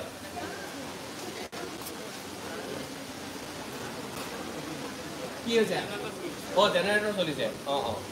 আপুনি সন্ত্ৰাসিত নহ'ব মই ইতিমধ্যে সন্ত্ৰাসিত হৈ আছোঁ। মানে বহু মানুহে মানে মাইকৰ সন্মুখত থকা মানুহ এনেকুৱা অৱস্থাত মানে হয়। মানে মাইকেও চাগে ভাবে যে গণ্ডগোলীয়া মানুহজনে এতিয়া কি কয় ঠিক নাই। গতিকে অলপ কাৰেণ্ট চাৰেণ্ট কাটি দিয়া যাওক নেকি এনেকুৱা ধৰণৰ এটা চিন্তা হয় যেন লাগে। কিন্তু এটা কথা ভুল নুবুজিব কোনখন মঞ্চত কোনটো কথা ক'ব লাগে এই কথাখিনি জনাৰ এইখিনি কথা কিঞ্চিতমান হ'লেও জানো বুলি মই অনুভৱ কৰোঁ। কাৰণ মই মোৰ মঞ্চৰ অভাৱ হোৱা নাই যিকোনো মঞ্চত যিকোনো কথা কৈ থ'লে অযথা বিতৰ্ক কৰি আমাৰ গৃহস্থক বিব্ৰত কৰাৰ উদ্দেশ্য মোৰ নাই তাহানিও মই তেনেকুৱা কৰা নাই। আৰু সেইবাবেই হয়তো ৰাইজৰ মৰম ৰাইজৰ মৰম কিছু পৰিমাণে পাইছোঁ আৰু মই অত্যন্ত অনুপ্ৰাণিত আৰু বাধিত হৈছোঁ। প্ৰখ্যাত ব্যক্তিৰ জীৱনৰ দ্বন্দ্ব আৰু স্ববিৰোধিতা। আৰু ইয়াত মই কানৈ মহাবিদ্যালয় বুলি ক'লে মনত পেলাব লাগিব তিনি চাৰিজনমান ব্যক্তি। আমাৰ ঘৰৰ কাষতে আমি ডাঙৰ হোৱা মোতকৈ সৰু নৃতত্ব বিভাগৰ মৰমী তালুকদাৰ। তোমালোকৰ বহুতৰে বাইদেউ। এই মৰমী কিমান স্মাৰ্ট গতিশীল ব্যক্তিত্বৰ ছোৱালী আছিল। তাৰিণী চৌধুৰী স্কুলত পঢ়াৰ সময়ত মোৰ পৰিবাৰে এতিয়াও কয় যে মৰমী তালুকদাৰৰ কথা পুৰণা ছাত্ৰীসকলে এতিয়াও তেওঁলোকে মনত পেলায়। আন এজন অধ্যাপক অভিজিত দা আমাৰ পৰিচালনা সমিতিৰ সভাপতি অভিমন্যু বৰুৱা ডাঙৰীয়াৰ ভাতৃ। কিন্তু সেই পৰিচয়টো ডাঙৰ কথা নহয় কানৈ কলেজৰ লগত দীৰ্ঘদিন যুক্ত হৈ আছে দিল্লী বিশ্ববিদ্যালয়ত। আমাতকৈ জ্যেষ্ঠ আছিল আজি ইতিহাস বিভাগৰ অধ্যাপক অভিজিত বৰুৱা ডাঙৰীয়া। আমাৰ মৃদুল শৰ্মা প্ৰখ্যাত সমালোচক উপন্যাসিক মই আজি দহ বাৰ বছৰৰ পৰা চিনি পোৱা আৰু যোৱাকালি মাত্ৰ মাটি দীৰ্ঘ ভাষণ শুনিলো আপোনালোকৰ এই শিক্ষক সংস্থাৰ বোধ কৰোঁ উজনি অসম বুলি কয় নে ডিব্ৰুগড় মণ্ডলৰ প্ৰতিনিধি আৰু নৃতত্ব বিভাগৰে আমাৰ ভৰালী ডাঙৰীয়া অনুপ ভৰালী ডাঙৰীয়া তেওঁলোকক প্ৰতীক হিচাপে লৈ প্ৰতিগৰাকী বৰ্তমান কৰ্মৰত শিক্ষক শিক্ষয়িত্ৰী আৰু প্ৰাক্তন শিক্ষক শিক্ষয়িত্ৰীক পুনৰবাৰ নমস্কাৰ জনাই আৰু ছাত্ৰ ছাত্ৰীসকলক মৰম যাচি মই মোৰ মনলৈ অহা দুটামান কথা ক'ব বিচাৰিছো। প্ৰখ্যাত ব্যক্তিৰ দ্বন্দ্ব আৰু স্ববিৰোধিতা বুলি কোৱাৰ সময়ত আমি এই কথাটো মনত ৰাখিব লাগিব। এয়া কিন্তু সমালোচনা কৰাৰ বাবে এইটো বিষয় বাছি লোৱা হোৱা নাই। সমালোচনা প্ৰয়োজনত লাগিব ময়ো সমালোচনা কৰোঁ মোকো সমালোচনা কৰে। সমালোচনাই মানুহক এই যে সোণক যে পুৰি আৰু উজ্বলাই তোলে মই তেনেকৈ বিশ্বাস কৰোঁ। কিন্তু আজিৰ বিষয়টো মই এই কথাটো ক'ব বিচাৰিছোঁ পোনপ্ৰথমে যে মানুহৰ জীৱনত দ্বন্দ্ব আৰু স্ববিৰোধিতা থাকে। Man is defined by the contradiction in his life? In a way the contradictions define the man. এই ধৰণৰ কথা আজি অনাদি কালৰ পৰা চলি আছে আৰু সত্য বুলি অধিকাংশ সমাজ বিজ্ঞানীয়ে স্বীকাৰ কৰিছে। গতিকে মানুহৰ দ্বন্দ্ব আৰু স্ববিৰোধিতাৰ কথা কোৱা মানে সেইসকল মানুহক সমালোচনা কৰা নুবুজায়।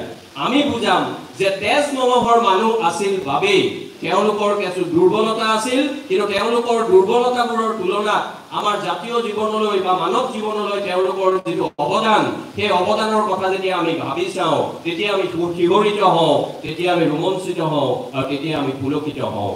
আৰু সেইবাবে প্ৰথম মই লৈছো আমাৰ জাতিৰ পিতা মহাত্মা গান্ধী। মহাত্মা গান্ধী জাতিৰ পিতা আৰু মহাত্মা গান্ধী বুলি ক'লে অসমীয়া মানুহৰ বাবে জাতিৰ পিতাতকৈ উচ্চতম এটা সন্মান দিব পৰা কিছু কাৰণ আছে বুলি মই ভাবো। মই এতিয়া বৰ বেছি সেই কাৰণবোৰ ব্যাখ্যা নকৰোঁ মই খালি দ্বন্দ্ব আৰু স্ববিৰোধিতাৰ কথাটো কম কিন্তু প্ৰথম ব্যক্তি হিচাপে যিহেতু মহাত্মা গান্ধীক লোৱা হৈছে মই এইবাবে অনুভৱ কৰোঁ যে গ্ৰুপিঙৰ সময়ত আমাৰ গোপীনাথ বৰদলৈ ভীমবৰ দেউৰীৰ সংগ্ৰামক যেতিয়া জৱাহৰলাল নেহেৰু আজাদ যেতিয়া বল্লভ ভাই পেটেলে প্ৰথমতে কিছু সমৰ্থন দিও পিছলৈ বহুবা পিছলা কৰিছিল যে ভাৰতৰ স্বাধীনতাৰ ক্ষেত্ৰত অসমৰ দৰে প্ৰান্তীয় ৰাইজৰ আৱেগ অনুভূতিবোৰক লৈ বেছিকৈ লাগি থাকিলে আমাৰ স্বাধীনতা হয়তো পলম হৈ যাব পাৰে আৰু কিছু অসুবিধা হ'ব পাৰে। তেনে সময়ত মহামানৱ মহাত্মা গান্ধীয়ে অসমীয়া ৰাইজৰ হকে তেওঁ থিয় দিছিল আৰু অসমীয়া মানুহৰ মনত প্ৰাণ সঞ্চাৰ কৰিছিল। সেই মহাত্মা গান্ধীক অসমীয়া মানুহৰ বাবে পুনৰ কৈছো অসমক ভাল পোৱা প্ৰতিজন মানুহ অসমীয়া ভাষা সাহিত্য সংস্কৃতিয়ে ৰোমাঞ্চিত কৰা প্ৰতিজন মানুহ মোৰ বাবে অসমীয়া কেৱল বৰা শইকীয়া হাজৰিকা আলি আহমেদ হ'লেই তেওঁ আৰু মোৰ বাবে অসমীয়া নহয়। বহল অৰ্থে অসমীয়া মানুহৰ বাবে মহাত্মা গান্ধী জাতিৰ পিতাতকৈ উচ্চ আসনত অধিষ্ঠিত। এই মহাত্মা গান্ধীয়ে মই এতিয়া দ্বন্দ্ব আৰু স্ববিৰোধিতাৰ কথা ক'ব লৈছো। যেতিয়া ঊনৈছশ ন চনত তেওঁ যেতিয়া এবাৰ ইংলেণ্ডৰ পৰা চাউথ আফ্ৰিকা দক্ষিণ আফ্ৰিকালৈ যায় হিম স্বৰাজ নামৰ তেওঁ গুজৰাটী ভাষাত লিখা গ্ৰন্থখন যেতিয়া তেওঁ ইংৰাজীলৈ নিজে অনুবাদ কৰে তাত অসমীয়া মানুহক তেওঁ কি বুলি কৈছে? যে অসমীয়া মানুহ চোৰ অসমীয়া মানুহ ডকাইত অসমীয়া মানুহ পিণ্ডাৰীৰ দৰে। মই দ্বন্দ্ব স্ববিৰোধিতাৰ কথা কৈছো। But even then I say that Mahatma Gandhi is great, great in what sense? Mahatma Gandhi জাতিৰ পিতা বাবে মহান বুলি ক'লে আমি হ'ব নেকি? এইখিনি কৰাৰ পিছত সেই সময়ত আৰু পিছৰ পৰ্যায়ত যেতিয়া তেওঁ ভাৰতলৈ ঘূৰি আহিল একৈশ বছৰ বিশ বছৰীয়া সংগ্ৰামৰ পিছত দক্ষিণ আফ্ৰিকাৰ মানুহে যে কয় যে you gave us Gandhi but we return you a Mahatma. এই বিশ বছৰীয়া সংগ্ৰাম দক্ষিণ আফ্ৰিকাৰ। তাৰ পিছত মহাত্মা গান্ধীয়ে আহি বিহাৰত আৰু অন্যান্য অঞ্চলত খেতিয়কৰ সমস্যা কৃষকৰ সমস্যা লৈ যেতিয়া প্ৰথমবাৰৰ বাবে অসহযোগ আন্দোলন আৰম্ভ কৰি চন্দ্ৰনাথ শৰ্মাৰ হেঁচাত আগষ্ট মাহৰ ঊনৈছশ একৈশ চনত অসমলৈ আহিল সেই মহাত্মা গান্ধীয়ে কিন্তু অসমীয়া মানুহৰ ওচৰত he tendered an unconditional apology আৰু লাভলি আছাম বুলি তেওঁ এটা প্ৰবন্ধ লিখিলে আৰু ক'লে যে অসমীয়া মানুহ সম্পৰ্কে মোৰ যিটো ধাৰণা আছিল ভুল। এইটো ভুল স্বীকাৰ কৰাৰ বাবে মানুহৰ মনত সাহস লাগিব মানুহৰ মনটো বহল হ'ব লাগিব আৰু সেইবাবে মহাত্মা গান্ধীয়ে কৰিব পাৰিছিল।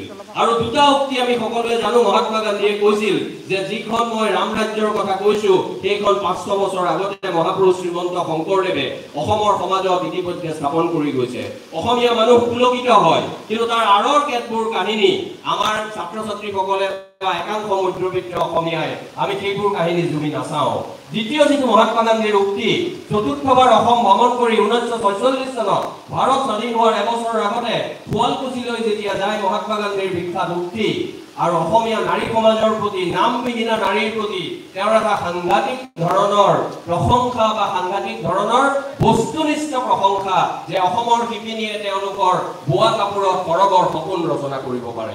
সেই মহাত্মা গান্ধীৰ ইমান দূৰ বহাৰ পিছতো মনত ৰাখিব লাগিব তেওঁ প্ৰথমতে অসমীয়া জাতিৰ বিষয়ে সাংঘাতিক নেতিবাচক নয়ৰ্থক এটা মতামত তেওঁ ৰাখিছিলে পিছত তেওঁ শুধৰাই লৈছিল। মহাত্মা গান্ধীয়ে আজি অভিমন্যু বৰুৱা ডাঙৰীয়া আছে। অভিমন্যু বৰুৱা বৰুৱা ডাঙৰীয়া এজন সফল অভিজ্ঞতা অধিবক্তা জ্যেষ্ঠ অধিবক্তা। সেই অধিবক্তা মহাত্মা গান্ধীও অধিবক্তা আছিল। কিন্তু অধিবক্তাৰ বিষয়ে মহাত্মা গান্ধীয়ে যিখিনি কথা কৈছিল সেইখিনি হয়তো আজি সভ্য অধিবক্তাৰ সমাজৰ মাজত তেওঁলোকে সেইখিনি কথা বিচাৰ বিশ্লেষণ কৰিবলৈ অলপ হ'লেও ইতস্তত বোধ কৰিব। বৰ ভাল কথা কোৱা নাছিল। প্লেগ ৰেলৱেৰ কথা কৈছিল যে ৰেলৱে আনিলে প্লেগ বিয়পি যাব। তাৰমানে মহাত্মা গান্ধীৰ কেতবোৰ উদ্ভৱ চিন্তা চৰ্চা আছিল। আধুনিক চিকিৎসা বিজ্ঞান। মহাত্মা গান্ধী কিয় সমালোচিত? কস্তুৰবা গান্ধীৰ মৃত্যুৰ আগত যেতিয়া আধুনিক চিকিৎসা বিজ্ঞানৰ নিদান দিয়া হ'ল প্ৰেছক্ৰিপশ্যন দিয়া হ'ল তেওঁ সেই কথাটো নেমানিলে। কিন্তু তাৰ ছসপ্তাহৰ পিছত তেওঁৰ যেতিয়া মেলেৰিয়া হয় নে অন্যান্য এটা ৰোগ হয় মহাত্মা গান্ধীয়ে আকৌ আধুনিক চিকিৎসা বিজ্ঞাই দিয়া কুইনাইন ঔষধটো তেওঁ সেৱন কৰিছিল। সেইবাবে মহাত্মা গান্ধীৰ পৰিয়ালৰ মানুহ হিচাপে দেউতাক হিচাপে স্বামী হিচাপে তেওঁৰ ভূমিকাৰ ওপৰত কিন্তু সমালোচিত হয় যুক্তিসংগত কাৰণতেই। কিন্তু এইখিনি কথা মই আকৌ কৈছো মহাত্মা গান্ধীৰ দৰে মানুহে নিজে ইংলেণ্ডৰ পৰা বেৰিষ্টাৰ পাছ কৰাৰ পিছত অধিবক্তাৰ বিষয়ে আধুনিক চিকিৎসাৰ বিষয়ে আৰু ৰেলৱেৰ বিষয়ে যিখিনি কথা কৈছিল সেই কথাটোৱে প্ৰমাণ কৰে যে এজন মানুহ মহানায়ক মহামানৱ হলেও অসমীয়াৰ বাবে জাতিৰ পিতাতকৈ উচ্চ হলেও তেওঁৰ জীৱনৰ ব্যক্তিত্বৰ মাজত কেতবোৰ খলাবমা আছে। কাৰণ খলাবমা থকাটোৱেই হ'ল সঁচা কথা। মনত পেলাওক আমাৰ ষোল্লশ এসত্তৰ চনৰ লাচিত বৰফুকনৰ বিখ্যাত যুদ্ধ শৰাইঘাটৰ আমাক সকলোকে গৌৰৱান্বিত কৰে বুকু ফুলাই দিয়ে। তেওঁৰ ব্যক্তিত্বৰ মাজত তেনে দ্বন্দ্ব নোলালেও তেওঁৰ মৃত্যুৰ চাৰি বছৰৰ পিছত তেওঁৰে ককায়েক লালুক ফুলাই কিন্তু সেইখন গুৱাহাটী চাৰি লাখ নে পাঁচ লাখ টকাৰ বিনিময়ত মোগলক গতাই দিছিল। গতিকে আমি যেতিয়া বুৰঞ্জী পঢ়িব লাগিব অভিজিত দা আছে বুৰঞ্জী পঢ়িলে আমি গুড বেড এণ্ড আগলি আমি সকলোবোৰ বিষয় জানিব লাগিব। তেতিয়াহে আমি বৰ্তমানক বুজি পাই ভৱিষ্যতৰ বাবে আমাৰ বৌদ্ধিক বিদ্যায়তনিক যিটো গতিপথ এই গতিপথ নিৰ্মাণ কৰিব পাৰিম সৃষ্টি কৰিব পাৰিম।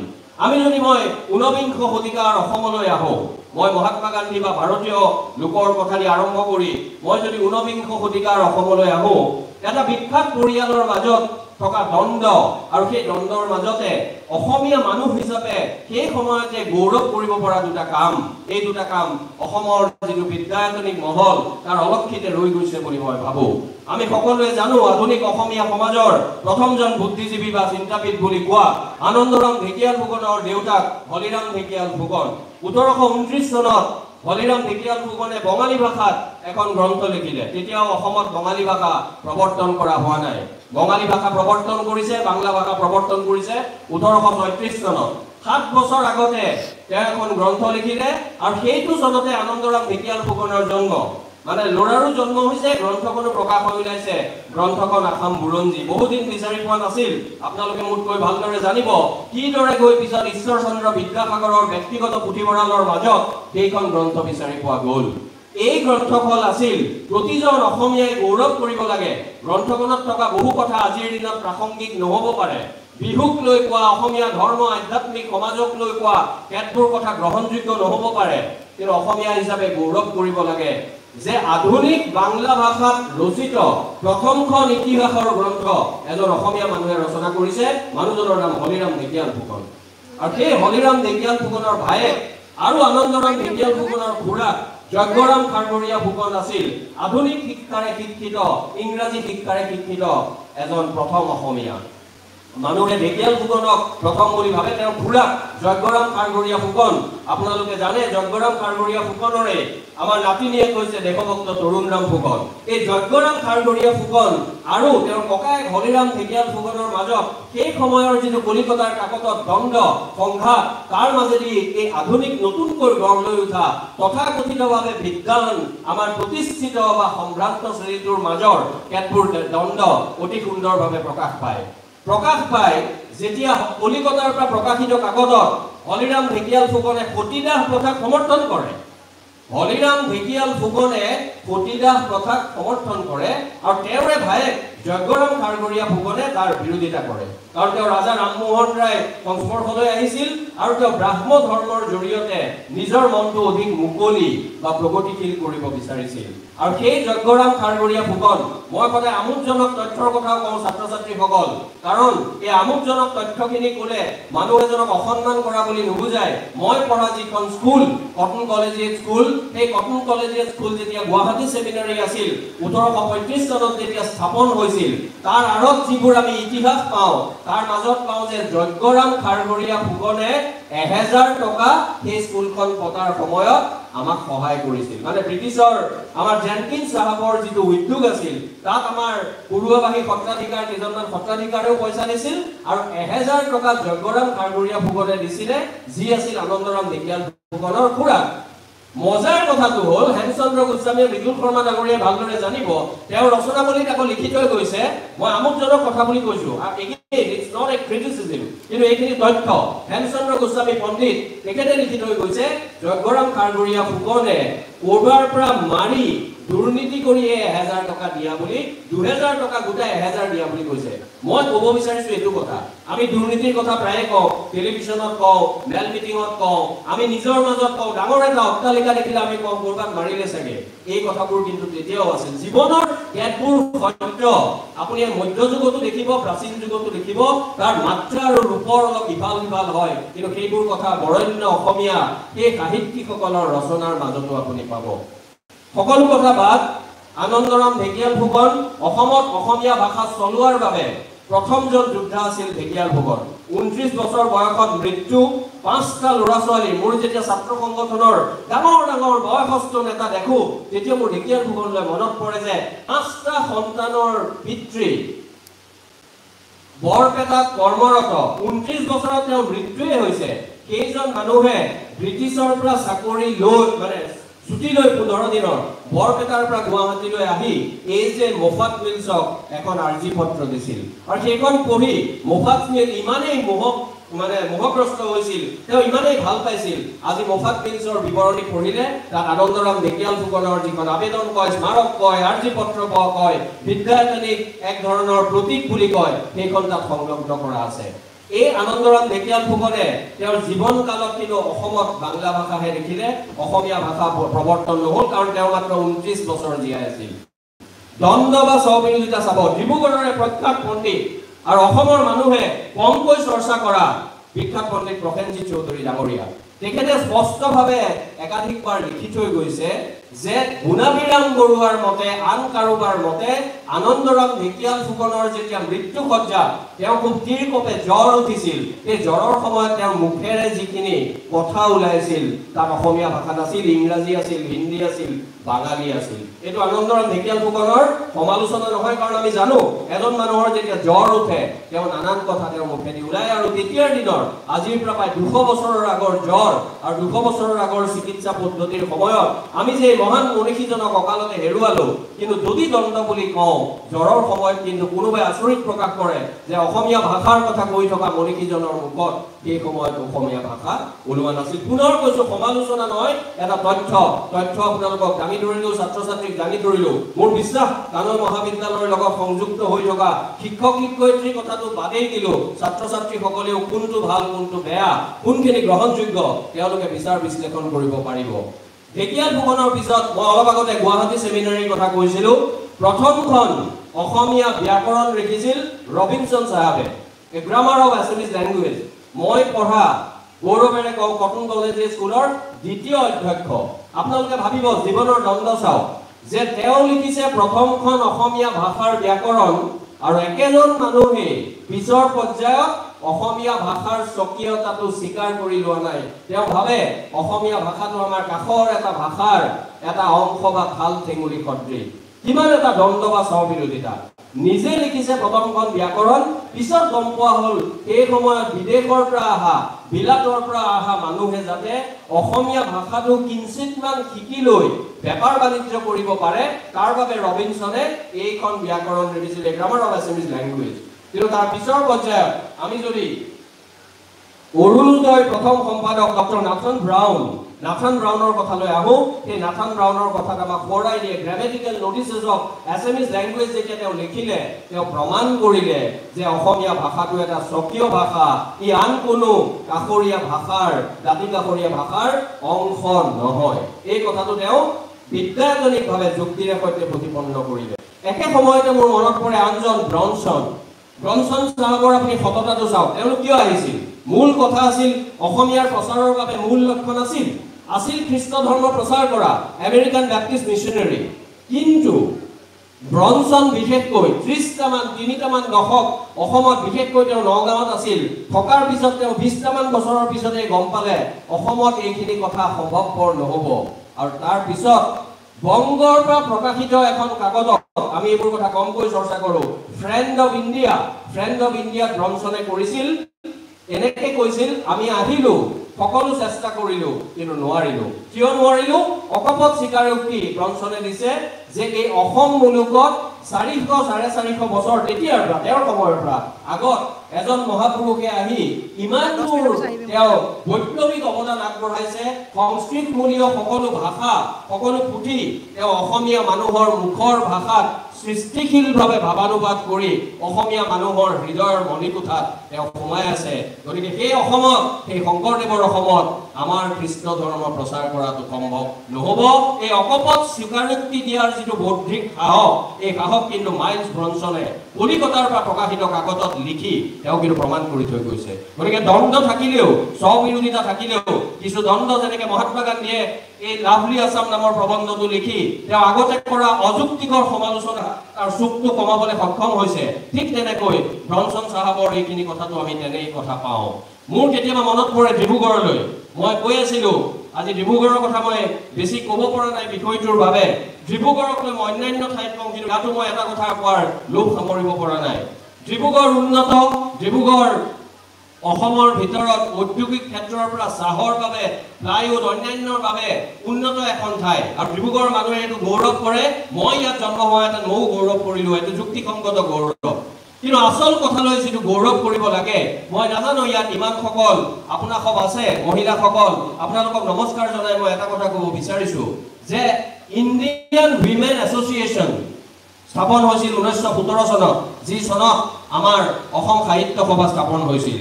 কিন্তু ডিব্ৰুগড় মহিলা সভা মহিলা সমিতি গঠন হৈছিল ঊনৈছশ পোন্ধৰ চনত দুটা বছৰৰ আগতে। এই ডিব্ৰুগড়ত এই ডিব্ৰুগড়ত য'ত কানৈ মহাবিদ্যালয় অৱস্থিত আমি য'ত আজি আছো সেই ডিব্ৰুগড়ত কিন্তু মহিলাসকলে ইণ্ডিয়ান উইমেন এছ'চিয়েশ্যন হোৱাৰ দুবছৰ আগতে ডিব্ৰুগড় মহিলা সমিতি গঠন কৰিছে। অকণমান পঢ়ি যদি চাওঁ আমি হৰিকৃষ্ণ দাস বৰপেটাৰ ডাক্তৰ ডিব্ৰুগড়ত আছিল। অসম সাহিত্য সভালৈ প্ৰথমটো দহ টকা ডাক্তৰ হৰিকৃষ্ণ দাসে আগবঢ়াইছিল। তেওঁৰে সন্তান ছোৱালী অমল প্ৰভা দাস গোটেই জীৱন অসমৰ বাবে উচৰ্গা কৰিলে গান্ধীয়ান সংগ্ৰামৰ নামত উচৰ্গা কৰিলে। বিয়া পৰ্যন্ত নহ'ল প্ৰথমগৰাকী অসমীয়া মহিলা যি কলিকতা বিশ্ববিদ্যালয়ৰ পৰা বিজ্ঞান বিষয়ত স্নাতকোত্তৰ ডিগ্ৰী লাভ কৰিছিল। সেই অমল প্ৰভা দাসৰ মাকক ডিব্ৰুগড়ৰ মানুহে মনত ৰাখিছে নাই? হেমপ্ৰভা দাস। ইয়াতেই শিক্ষকতা কৰিছিল? আৰু মহিলা সমিতি আৰু মহিলা উত্তৰণৰ ক্ষেত্ৰত আমি যুক্তিসংগত কাৰণতে অগ্নিকন্যা চন্দ্ৰপ্ৰভা শইকীয়ানী অমল প্ৰভা দাস পুষ্পলতা বাইদেউৰ কথা কওঁ। কিন্তু হেমপ্ৰভা দাসক হেৰুৱাই নিদিব। কাৰণ ডিব্ৰুগড়ৰ মাজত হেমপ্ৰভা দাসে যদি সেইখিনি সহায় সহযোগ নকৰাহেঁতেন মোৰ বিশ্বাস ডিব্ৰুগড়ৰ মহিলা সমিতি ঊনৈছশ পোন্ধৰ চনত নহ'লহেঁতেন। গতিকে মই ভাবোঁ আমাৰ ইতিহাসে আমাক সেইখিনি অনুপ্ৰেৰণা সেইখিনি আৰু সাহসৰ কথা আমি পাহৰি যোৱা অনুচিত। প্ৰায়ে কেতবোৰ কথালৈ বিতৰ্ক হয়। বেজবৰুৱা বেজবৰুৱাৰ জীৱনত দ্বন্দ্ব নাই নেকি? বেজবৰুৱাৰ জীৱনতো দ্বন্দ্ব আছে।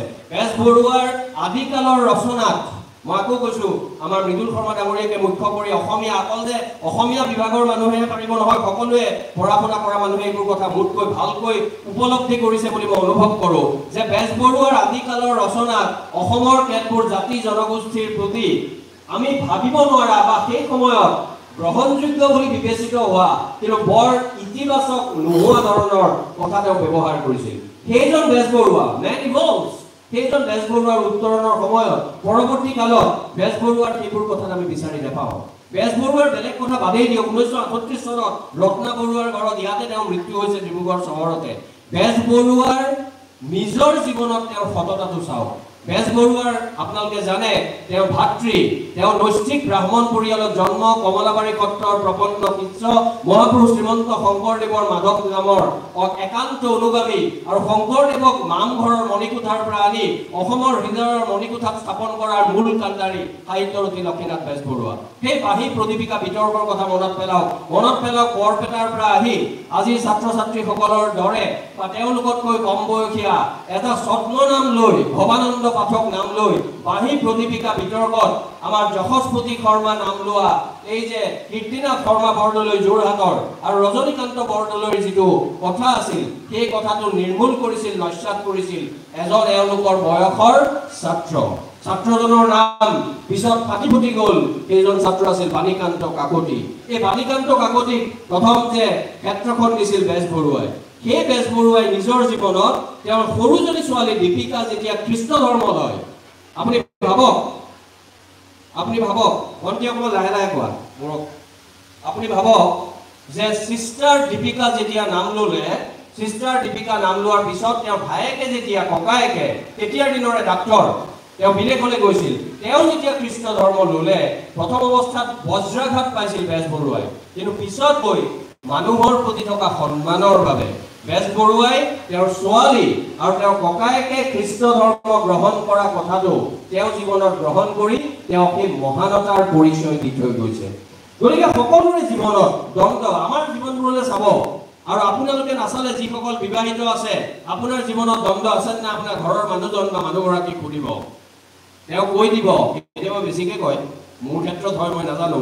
যে তোমাৰ জীৱনততো দ্বন্দ্বই বেছি মানে মেন মিটিঙত ইমান কথা কিন্তু এইবোৰত এনেকুৱা। থাকিব।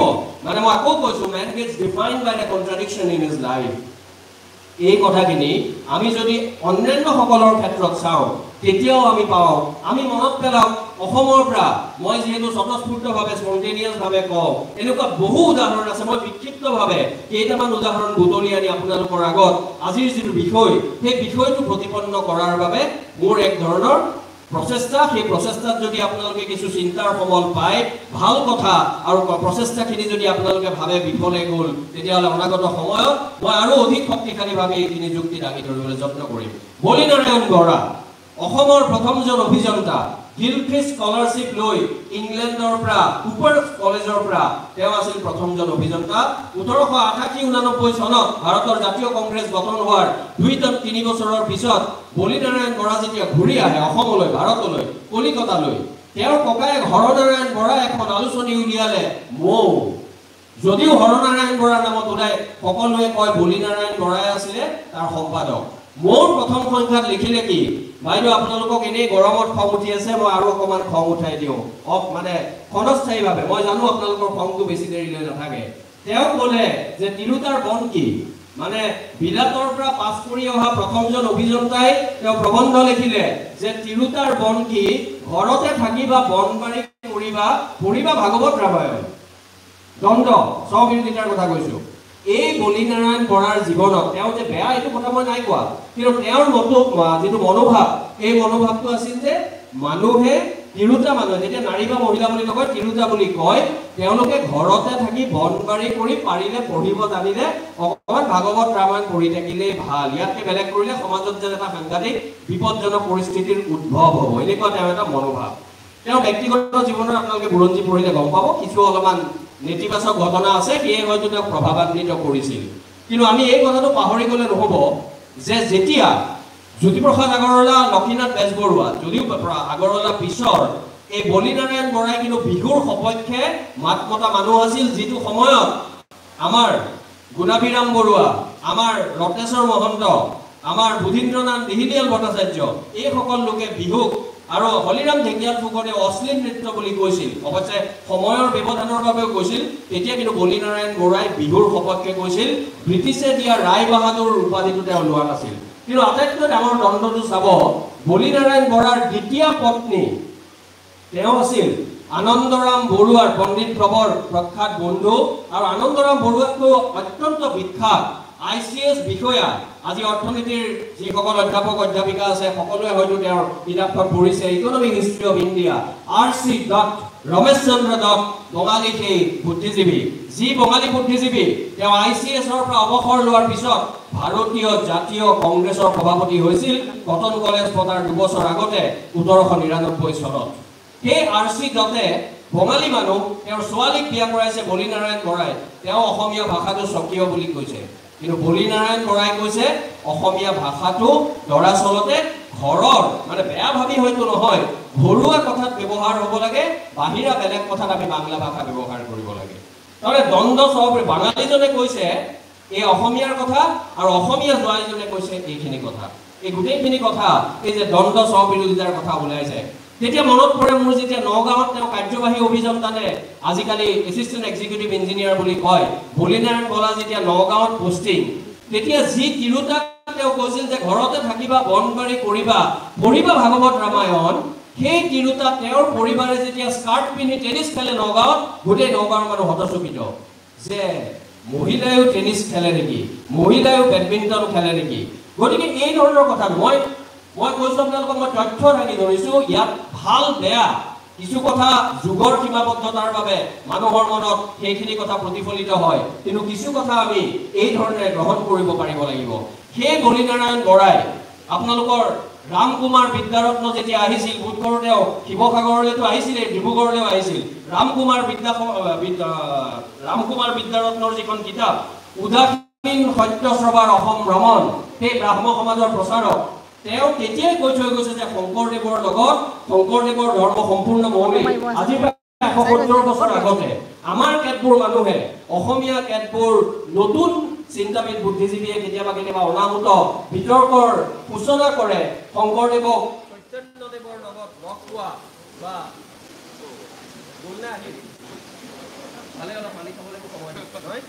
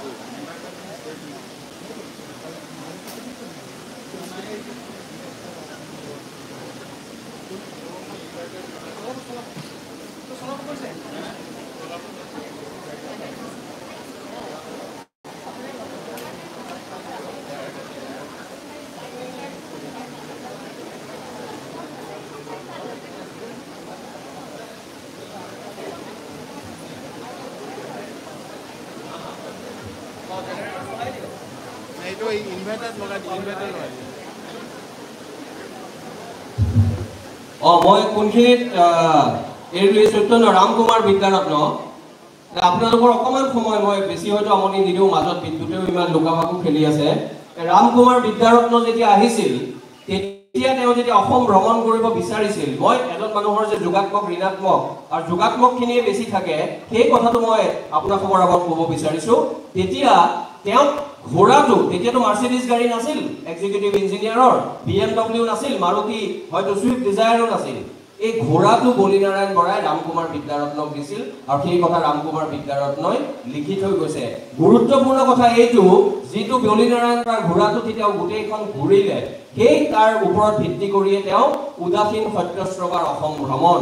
মই ছাত্ৰ ছাত্ৰীসকলক অনুৰোধ জনাম যে সেই সময়ৰ ঊনবিংশ শতিকাৰ অসমৰ বিষয়ে জানিবলৈ আমি সেইখন গ্ৰন্থ পঢ়িলে আমি হয়তো গম পাম। মোক বহুতে সোধে মই দিল্লী বিশ্ববিদ্যালয়ত পঢ়াৰ বাবে অভিজিৎ দাই জানিব আমি যেতিয়া পঢ়িছিলোঁ অসমৰ বিষয়ে এটা বাক্যও নাছিল। আৰু মই যেতিয়া কটন কলেজত পঢ়িছিলোঁ তাত মই বিজ্ঞান শাখাত আছিলোঁ মই বিভিন্ন এন আই টিত চিট পোৱাৰ পিছত ভাল নলগাৰ বাবে মই দৰ্শন আৰু ইতিহাস বিষয় পঢ়িছিলোঁ গতিকে মানুহৰ মন থাকিলে। এই ইতিহাসৰ যিবোৰ কথা মোৰ মনত এটা হেঁপাহ আছিল বাবে হাবিয়াস এটা আছিল বাবে সেইখিনি পঢ়ি মই সমৃদ্ধ হওঁ আৰু নতুন প্ৰজন্মক মই সেইটোৱে আহ্বান জনাওঁ যে ইতিহাসে আমাক সঠিক ৰাস্তা দিয়াৰ ক্ষেত্ৰত একমাত্ৰ সহায়ক নহ'লেও কিছু সহায়ক হ'ব পাৰে। কাৰণ ইতিহাস নাজানিলে শাসক পক্ষই বা বিভিন্ন দুষ্ট চক্ৰই ইতিহাসক বিকৃত কৰি আমাৰ মানুহৰ মাজত বেলেগ বেলেগ ধৰণৰ নেতিবাচক চিন্তা উৎপন্ন কৰি মানুহৰ মাজত সংঘাতৰ সৃষ্টি কৰে। গতিকে মই যদি অকণমান পৰিৱেশটো গঢ়ি লৈছে মই যদি অকণমান লঘু যেন লগা এটা কথা লৈ আহোঁ যে তৰুণ ৰাম আমাক প্ৰায়ে অসমীয়া মানুহক কোৱা যায় যে দুজন ব্যক্তিৰ নাম লোৱা হয় যে হেম বৰুৱা আৰু দীনেশ গোস্বামী। যে অসমৰ সমস্যা দিল্লীৰ সংসদত গৈ বলিষ্ঠভাৱে কোৱা এই দুজন মানুহ হয় তাত বিন্দু মাত্ৰ সন্দেহ নাই। দীনেশ গোস্বামী ডাঙৰীয়াক আমি মই নিজে দেখিছোঁ। আমি দিল্লীত পঢ়ি থকাৰ সময়ত তেওঁ বলিষ্ঠ বক্তব্য হেম বৰুৱাৰ কথা দেউতাহঁতৰ পৰা শুনিছোঁ আমি পঢ়িছোঁ আৰু সেইবোৰ কথালৈ আমি গৰ্বিত। কিন্তু আমি কিছুমান কথা আমি কিছুমান কথা এনেধৰণেৰে হৃদয়ংগম নকৰোঁ যে তৰুণৰাম ফুকন আৰু নবীন চন্দ্ৰ বৰদলৈ। অভিন্ন বন্ধু সেই তৰুণৰাম ফুকনক যেতিয়া নবীন চন্দ্ৰ বৰদলৈ ছয়ত্ৰিছ চনৰ নিৰ্বাচনত হৰুৱাই যেতিয়া তেওঁ দিল্লীলৈ গৈছিল আৰু দিল্লীৰ সাংসদত তেতিয়াৰ ইম্পেৰিয়েল লেজিছলেটিভ কাউন্সিলত নবীন চন্দ্ৰ বৰদলৈৰ ভূমিকা অসমৰ কাকততকৈ কলিকতাৰ কাকতত বেছি ওলাইছিল আৰু দুবছৰ মাত্ৰ জীয়াই থকা কৰ্মবীৰ নবীন চন্দ্ৰ বৰদলৈয়ে আঠ ন বছৰ থকা তৰুণৰাম ফুকনৰ সংসদত কৰা যিখিনি তেওঁৰ ভূমিকা সেইখিনি নিষ্প্ৰভ কৰি তুলিছিল। তাৰ অৰ্থ এইটো নহয় তৰুণৰাম ফুকনৰ সেই গুণ নাছিল। তৰুণৰাম ফুকন সাংঘাতিক গুণী সাংঘাতিক অৱদান থকা মানুহ আৰু সেই কথাটো মোতকৈ ভালকৈ তেওঁ স্বৰাজ দলত থকা জৱাহৰলাল নেহৰুৰ দেউতাক মতিলাল নেহৰুৱে ভালকৈ জানিছিল। এবাৰ মতিলাল নেহৰুৱে কৈছিল যে তোমালোকৰ ফুকন তোমালোকৰ ফুকন তেওঁ বহা বাৰান্দাত বহি মোৰ মুচকুচাৰ বিষয়ে দুঘণ্টা বক্তৃতা দিব পাৰে। তাৰমানে ইমান জ্ঞানী। কিন্তু সেইজন মানুহে লেজিছলেটিভ কাউন্সিলত কিহৰ বাবে আৰু বেছি সক্ৰিয় ভূমিকা নলয় সেই কথাটো মতিলাল নেহৰু নিজে আচৰিত হৈছিল।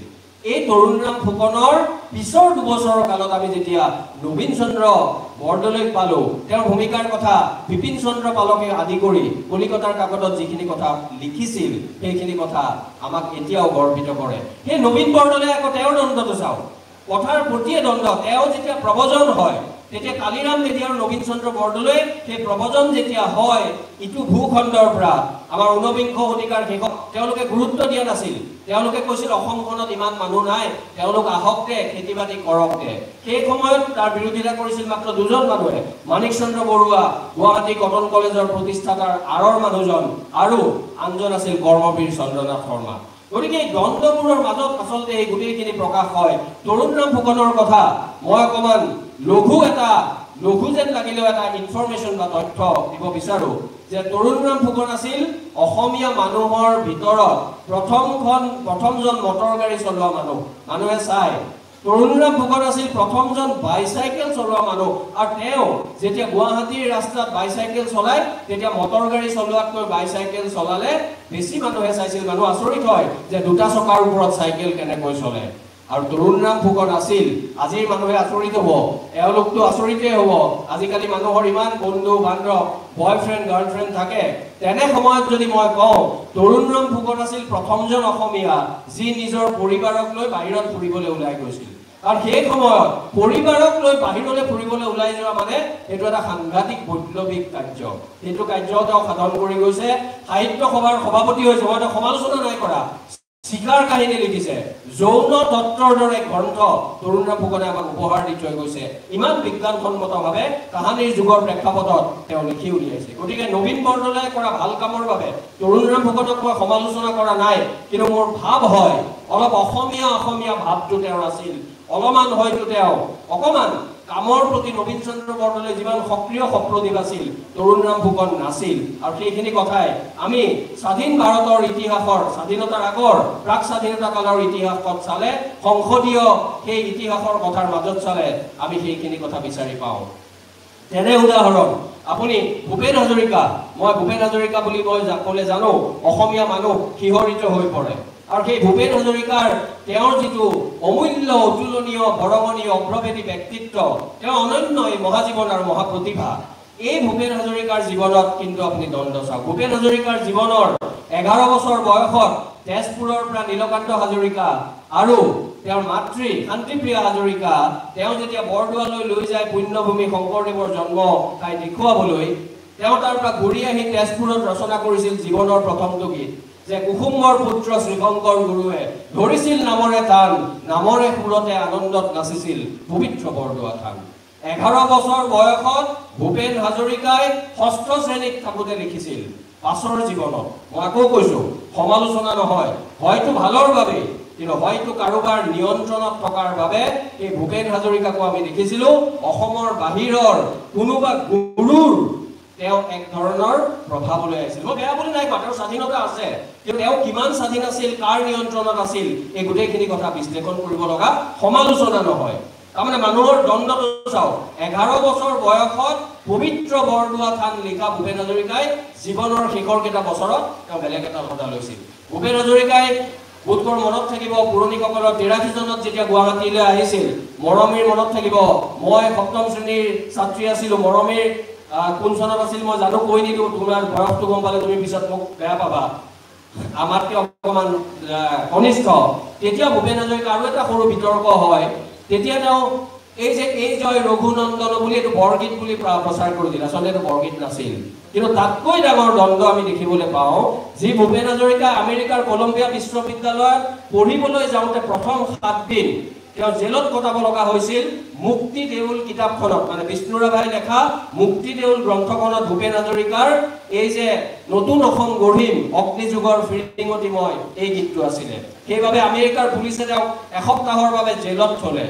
সেই ভূপেন হাজৰিকাই বাষষ্ঠি চনত অসম চৰকাৰে চীনে আক্ৰমণ কৰাৰ সময়ত ভাৰতক যেতিয়া বিষ্ণুৰাভাক যেতিয়া গ্ৰেপ্তাৰ কৰিলে ভূপেন হাজৰিকা কিন্তু মৌন হৈ আছিল।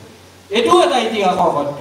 আৰু এটা সত্য শশী শৰ্মা ডাঙৰীয়াই লিখি থৈ গৈছে অন্যান্য পণ্ডিতে লিখি থৈ গৈছে যে জৰুৰীকালীন অৱস্থা দিয়াৰ সময়ত ভূপেন হাজৰিকা যিমান সক্ৰিয় সৰব হ'ব লাগিছিল কাৰণ তেওঁ আমাৰ প্ৰতিনিধিনে প্ৰতিধ্বনিৰ সম্পাদক সিমান কিন্তু তেওঁ হোৱা নাছিল। ইয়াৰ অৰ্থ এইটো নহয় যে ভূপেন হাজৰিকাক আমি বেয়া পাওঁ ভূপেন হাজৰিকা আমাৰ আৱেগ। কিন্তু ইতিহাসৰ নিৰাৱেগ বিশ্লেষণে প্ৰমাণ কৰে প্ৰতিজন মানুহে কেতিয়াবা কেতিয়াবা এনেকুৱা কাম কৰে। মই আপোনালোকক প্ৰেক্ষাপটটো কওঁ আপোনালোকে নিজেই বিচাৰ বিশ্লেষণ কৰিব। তিনিটা বা দুটা গীতৰ কথা। ভূপেন হাজৰিকাই বোধ কৰোঁ গাইছিল। মই প্ৰেক্ষাপটবোৰ বিশ্লেষণ নকৰোঁ যে এই জুই জ্বলিছে জ্বলিছে জ্বলিবই।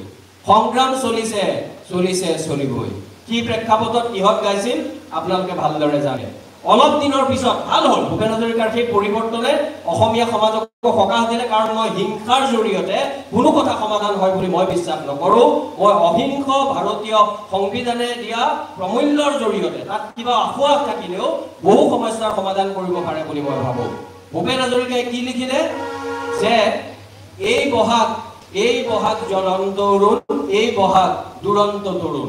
পুৰণিৰ শত শত বহাগ মাহৰ চহি কহি যোৱাকে মূল্যবোধৰ মৈদাম খান্দি খান্দি হাড়বোৰ নিকা কৰি এনেকুৱা আছিল নেকি? মৈদাম খান্দি খান্দি হাড়বোৰ নিকা কৰি অস্ত্ৰ সাজি সাজি লৈ নিশ্বাস কোনে বাৰু হাঁহি হাঁহি শোষণ সেনানীৰ কৰিছে বিনা? দ্বিতীয় গীতটো লিখিলে ভূপেন হাজৰিকাই। কোনোবাই লিখিলে প্ৰত্যেকটো নিজে লিখা নাই।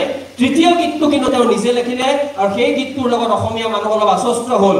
ভূপেন হাজৰিকাই লিখিলে সূৰ্য উদয় যদি সূৰ্য উদয় যদি লক্ষ্য তোমাৰ সূৰ্যাস্তৰ পিনে ধাৱমান কিয়? শীতল বৃষ্টি যদি লক্ষ্য তোমাৰ কাম্য তোমাৰ অনাবৃষ্টি খেদি ফুৰিছো কিয়? মানে ৰূপকৰ জৰিয়তে with the help of metaphor and allegory Bhupen হাজৰিকাই এটা অসমীয়া স্বৰাজোত্তৰ কালৰ এটা সংগ্ৰামৰ গতিধাৰা তিনিটা গীতৰ জৰিয়তে সংগ্ৰামটো কোনফালে গৈছে অসমীয়া মধ্যবিত্তৰ চিন্তা কোনফালে গৈছে তাৰ জৰিয়তে তিনিটা গীত তেওঁ গাই থৈ গ'ল। আৰু ওলাই পৰিল মানুহৰ জীৱনৰ কিছু কিছু দ্বন্দ্ব কিছু কিছু স্ববিৰোধিতা। গতিকে এই ধৰণৰ দ্বন্দ্ব স্ববিৰোধিতা কাৰোবাৰ যদি নাথাকে বুলি কয় তেতিয়াহ'লে কিন্তু তেতিয়াহ'লে সেই কথাটো ভুল। বেছি প্ৰগতিশীল বুলি কোৱা মানুহৰ মনতো দ্বন্দ্ব থাকে। সেইদিনা টেলিভিশ্যনত কৈছোঁ বৰ্তমান সময়ত বৰ্ণবাদ জাতিভেদ কথা এইবোৰ কথালৈ বহুতৰ মাজত নানান ধৰণৰ কথা বিভ্ৰান্তিৰ সৃষ্টি হয় মানুহে নপঢ়াৰ বাবে।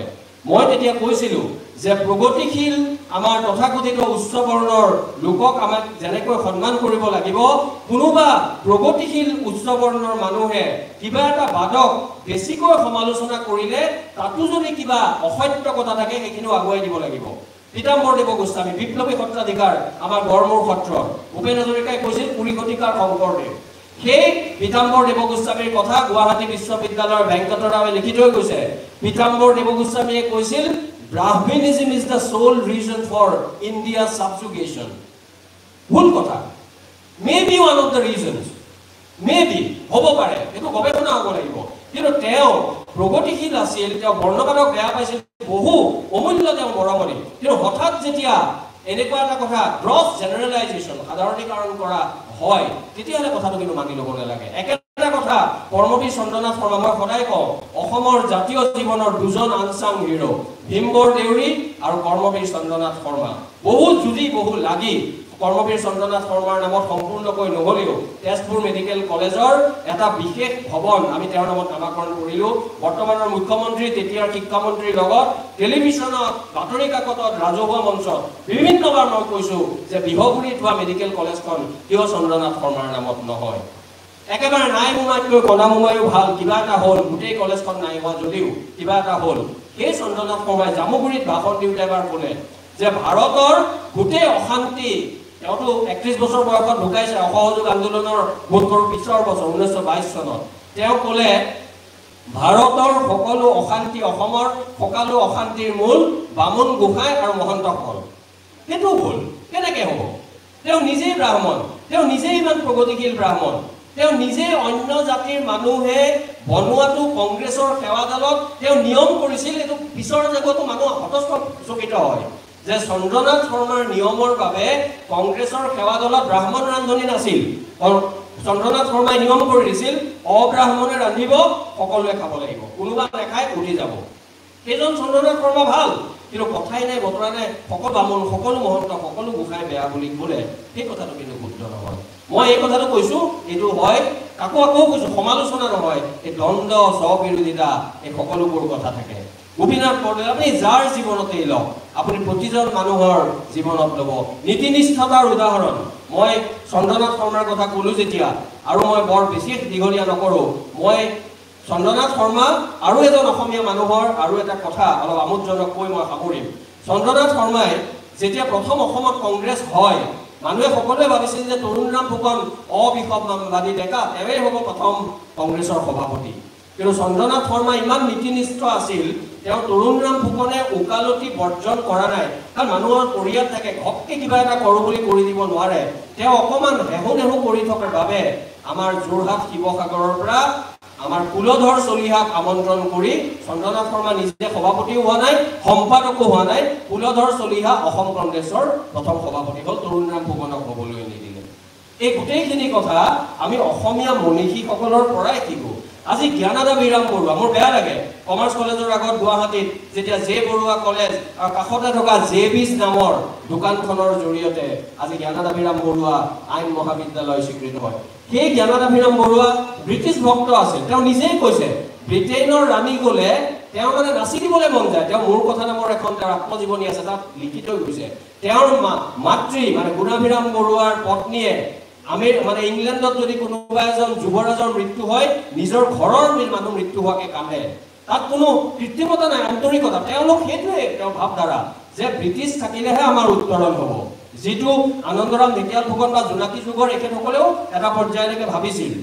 সেই জ্ঞানাৰাভিৰাম বৰুৱাই আপুনি চাব দেই সমালোচনা কৰিছে আমাৰ কাষৰ ৰাজ্যৰ ৰবীন্দ্ৰনাথ ঠাকুৰৰ দেউতাকক দেৱেন্দ্ৰনাথ ঠাকুৰ। আমি জানো ৰবীন্দ্ৰনাথ ঠাকুৰৰ ককাকৰ নাম দ্বাৰকানাথ ঠাকুৰ তেওঁৰ পুতেক আছিল দেৱেন্দ্ৰনাথ ঠাকুৰ।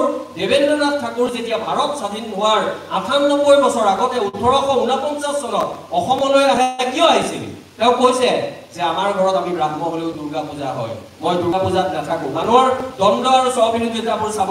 দেৱেন্দ্ৰনাথ ঠাকুৰে কৈছে মই কলিকতাত নাথাকো অসমলৈ যাম। আহিল অসমলৈ। মানুহ অলপ আচৰিত এতিয়াতো শিক্ষিত অসমীয়া মানুহ কম আজিৰ পৰা এশ সত্তৰ বছৰ আগতে। প্ৰায় নায়েই। পিছত এইবোৰ কথা আলোচনা হৈছে বিশ্লেষণ হৈছে দুৰ্গা পূজা হৈছে ব্ৰাহ্ম মই নাথাকো অসমলৈ যাম। অসমলৈ আহি আকৌ তেওঁ কামাখ্যালৈ গ'ল। তেতিয়া অলপ আচৰিত হ'ল। আৰে তেওঁ তাত ইয়াত নকৰিলে ইয়াত আকৌ কামাখ্যালৈ গ'ল। কামাখ্যালৈ যোৱাৰ পিছত আকৌ কামাখ্যাত তেওঁ সেইসকল যিসকল পুৰোহিত বা আছিলে তাত তেওঁ দক্ষিণা নিদিলে। সেইটোলৈ এটা মানে বিতৰ্ক নহয়। মানুহ অলপ আচৰিত হ'ল বিশ্লেষণ কৰোঁতে। যে তাত পূজা হোৱাৰ বাবে ইয়াত আহিল ইয়াত আহি কামাখ্যালৈ গ'ল। কামাখ্যাত আহি পেলাই তেওঁ আকৌ পুৰোহিতক নিদিলে বোলে নাই আমি ব্ৰাহ্ম আমি এইবোৰ টকা পইচা নিদিওঁ। হয়তো তেওঁ টুৰিষ্ট হিচাপে গৈছিল। সেই কথাখিনি তাৰ বাহিৰৰ কেতবোৰ কথা আমাৰ জ্ঞানাদাভিৰাম বৰুৱাই অতি সুন্দৰভাৱে সমালোচনা কৰিছে। অকল দেৱেন্দ্ৰনাথ ঠাকুৰক সমালোচনা কৰাহেঁতেন মই ক'লো হয় তাত অসমীয়াত্বৰ গুণ আছে probably he was biased and prejudice কিন্তু তেওঁ নিজৰ দেউতাক গুণাভিৰাম বৰুৱাকো তেওঁ সমালোচনা কৰিছে। কি কথাত আমি সকলোৱে জানো স্বৰ্ণলতা। এই স্বৰ্ণলতা আমাৰ ডিব্ৰুগড় বিশ্ববিদ্যালয়ৰে তিলোত্তমা মিশ্ৰ বাইদেৱে এসময়ত লিখিছিল ইংৰাজীৰ সাহিত্যৰ অধ্যাপক। পিছত তেখেতৰ স্বামী আৰু আন এজন প্ৰখ্যাত পণ্ডিত ডক্টৰ উদয়ন মিশ্ৰই এখন ইংৰাজীলৈ অনুবাদো কৰিছে। স্বৰ্ণলতা ন বছৰ বয়সতে গুণাভিৰাম বৰুৱা নগাঁৱত কৰ্মৰত হৈ থকাৰ সময়ত কলিকতাত পঢ়াইছিল। সেই স্বৰ্ণলতাক তেওঁৰ ভায়েকে লিখি থৈ গৈছে তেওঁৰ আত্মজীৱনী। স্বৰ্ণলতাক দিয়া দিয়াৰ কথা আছিল বোলে আনন্দৰাম বৰুৱাৰ ওচৰত। আমাৰ পণ্ডিত প্ৰবৰ আনন্দৰাম বৰুৱা। গুণাভিৰাম বৰুৱাই নিদিলে পুতেকে লিখিলে এওঁলোক ব্ৰাহ্মণ আমি ব্ৰাহ্মণ।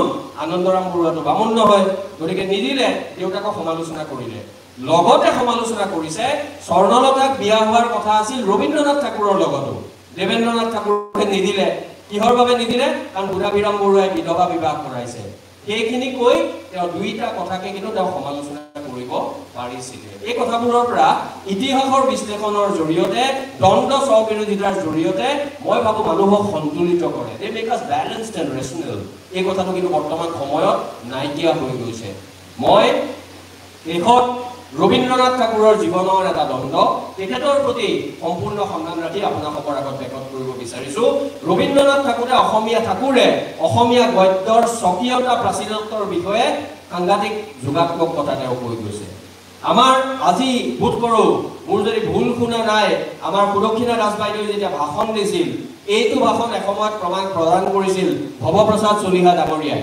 ভৱপ্ৰসাদ চলিহা ডাঙৰীয়াৰ এখন কিতাপ উন্মোচন চাৰি বছৰমানৰ আগতে তাত আমাৰ পৰা যোৱা বছৰ বিদায় লোৱা কথাশিল্পী লক্ষীনন্দন বৰাই পঢ়ি দিছিল ভৱপ্ৰসাদ চলিহাই যতীন্দ্ৰনাথ দুৱৰা যাৰ আগত আকৌ ডিব্ৰুগড়ৰ সংযোগৰ কথা মই আপোনালোকক ক'ব নালাগে।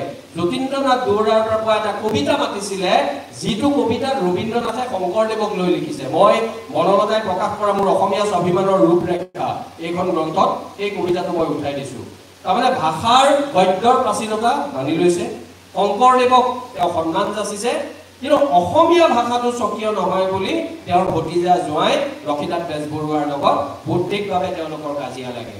শূন্য কাকতত এজনে লিখে ভাৰতী কাকতত আনজনে লিখে। আৰু লিখি প্ৰমাণ কৰে বেজবৰুৱাই যে অসমীয়া এটা স্বকীয় ভাষা। আৰু এইটো কথা বেজবৰুৱাৰ মহানতা। শেষত ইয়াতেই শেষ নিশ্বাস পেলোৱা। বেজবৰুৱাৰ মহানতাৰ কথাৰে কওঁ যি খুৰা কহুৱে কিমান বিখ্যাত নবেল বঁটা বিজয়ী অসমীয়া ভাষাৰ বাবে বেজবৰুৱাই খুৰা কহুৱেকৰ লগত ইমানবোৰ তৰ্ক বিতৰ্ক কৰিলে সেই কলিকতাৰ ৰয়েল থিয়েটাৰ এনেকুৱা এটা ৰয়েল থিয়েটাৰত যেতিয়া ৰবীন্দ্ৰনাথ ঠাকুৰৰ এখন নাটক মঞ্চস্থ কৰিবলগীয়া আছিল তাত এটা দস্যুৰ ভাও ল'ব লগা আছিল। দস্যু মানে আমাৰ এণ্টি হিৰো নহয় শ্বাহৰুখ খানৰ বাজিগৰ বা দৰ টাইপৰ এণ্টি হিৰো নহয়। তাতকৈ আকৌ দস্যু villain villain in the purest form sense of the term probably আমাৰ এই অমৰেশ পুৰীৰ নিচিনা হয়তো। If I if I allow my imagination to run little bit wild এতিয়া সেই দস্যুৰ ভূমিকাত কোনো কলিকতাৰ মানুহে নকৰে। শেষত কৰিলে তেওঁৰ লগত শূন্য ভাৰতী কাকতত বৌদ্ধিক বিতৰ্কত লিপ্ত হোৱা লক্ষীনাথ বেজবৰুৱাই। আৰু বিভিন্ন মানুহে টিটকাৰি মাৰিলে। মানে দস্যু হোৱাজনক মানুহে টিটকাৰি মাৰে উপলুঙা কৰে বিদ্ৰোহ কৰে। তাৰ অৰ্থ এইটো দস্যুৰ ভূমিকা লক্ষীনাথ বেজবৰুৱাই সুন্দৰভাৱে কৰিলে। সঁচা অৰ্থত তেওঁ মঞ্চত থকা সময়খিনিত তেওঁ সেই দস্যুৰ ভূমিকা কৰিব পাৰিলে। কোন সময়ত যি সময়ত খুৰা শহুৰেকৰ লগত তেওঁ তৰ্ক বিতৰ্ক ৰাজহুৱাভাৱে হৈ আছে। গতিকে এইবোৰ কথাই বেজবৰুৱাৰ মহানতাৰ পৰা কি শিকায়? যে মতান্তৰ হ'ব পাৰে। যিটো সন্মানীয় ডক্টৰ নগেন শইকীয়াদেৱে মোক ডক্টৰ শশীকান্ত শইকীয়া ডাঙৰীয়াই ক'লে আজি বোধ কৰোঁ তিনি চাৰিদিন আগতে এইখন কলেজলৈ আহিছে। এইখন কলেজৰ অভিভাৱক স্বৰূপ অসমৰে অভিভাৱক স্বৰূপ। সেই নগেন শইকীয়াদেৱে বাৰে বাৰে কয় মোৰ পচন্দ হয় যে মানুহৰ মতান্তৰ হ'ব পাৰে মনান্তৰ কিন্তু হ'ব নালাগে। কাৰণ গণতান্ত্ৰিক সমাজ ব্যৱস্থাত প্ৰকৃত শিক্ষাই আলোকিত কৰা। আমি যদি মানুহ হওঁ তেতিয়াহ'লে আমাৰ মনত থকা দ্বন্দ্ব স্ববিৰোধিতা দুৰ্বলতা আফুৱা কেৰুণ বিসংগতি এই সকলোবোৰ অতিক্ৰম কৰি আমি প্ৰতিজন মানুহে অকণমান নিজকে আৰু উন্নত কৰিবলৈ ভাল কৰিবলৈ যদি প্ৰয়াস কৰোঁ মই ভাবোঁ সেয়াই হ'ব আজিৰ দিনটোত এই পঁচিছ সংখ্যক ডক্টৰ যোগীৰাজ বসুৰ দৰে প্ৰখ্যাত পণ্ডিত সেই বেদৰ পৰিচয় লিখি মই প্ৰথম বেদৰ পৰিচয় লিখা বুলি তেখেতক জানিছিলোঁ। পিছত গম পালোঁ তেওঁ ইয়াৰে প্ৰতিষ্ঠাপক অধ্যক্ষ। তেনে এজন বৰণ্য ব্যক্তি আৰু সেই বৰণ্য ব্যক্তিক যেতিয়া কলেজ টিচাৰ্ছ এছ'চিয়েশ্যনে পঁচিছটা বছৰ ধৰি বুকুৰ মাজত লৈ সন্মান যাচিছে আৰু আজি এই পঁচিছ সংখ্যক বক্তৃতা দিবৰ বাবে মোক আমন্ত্ৰণ কৰি এটা বিষয় মোকেই স্বাধীনতা দি বাছি ল'বলৈ দিলে আৰু সেই সভাত আপোনাক সব আহি মোক অনুপ্ৰেৰণা দিলে। মই আপোনালোকক আৰু কি ক'ম? শেষত মোৰ ক'বলৈ এটাই কথা কলেজ কৰ্তৃপক্ষক জনাইছোঁ মোৰ কৃতজ্ঞতা আপোনালোকক জনাইছোঁ। ধন্যবাদ ধন্যবাদ।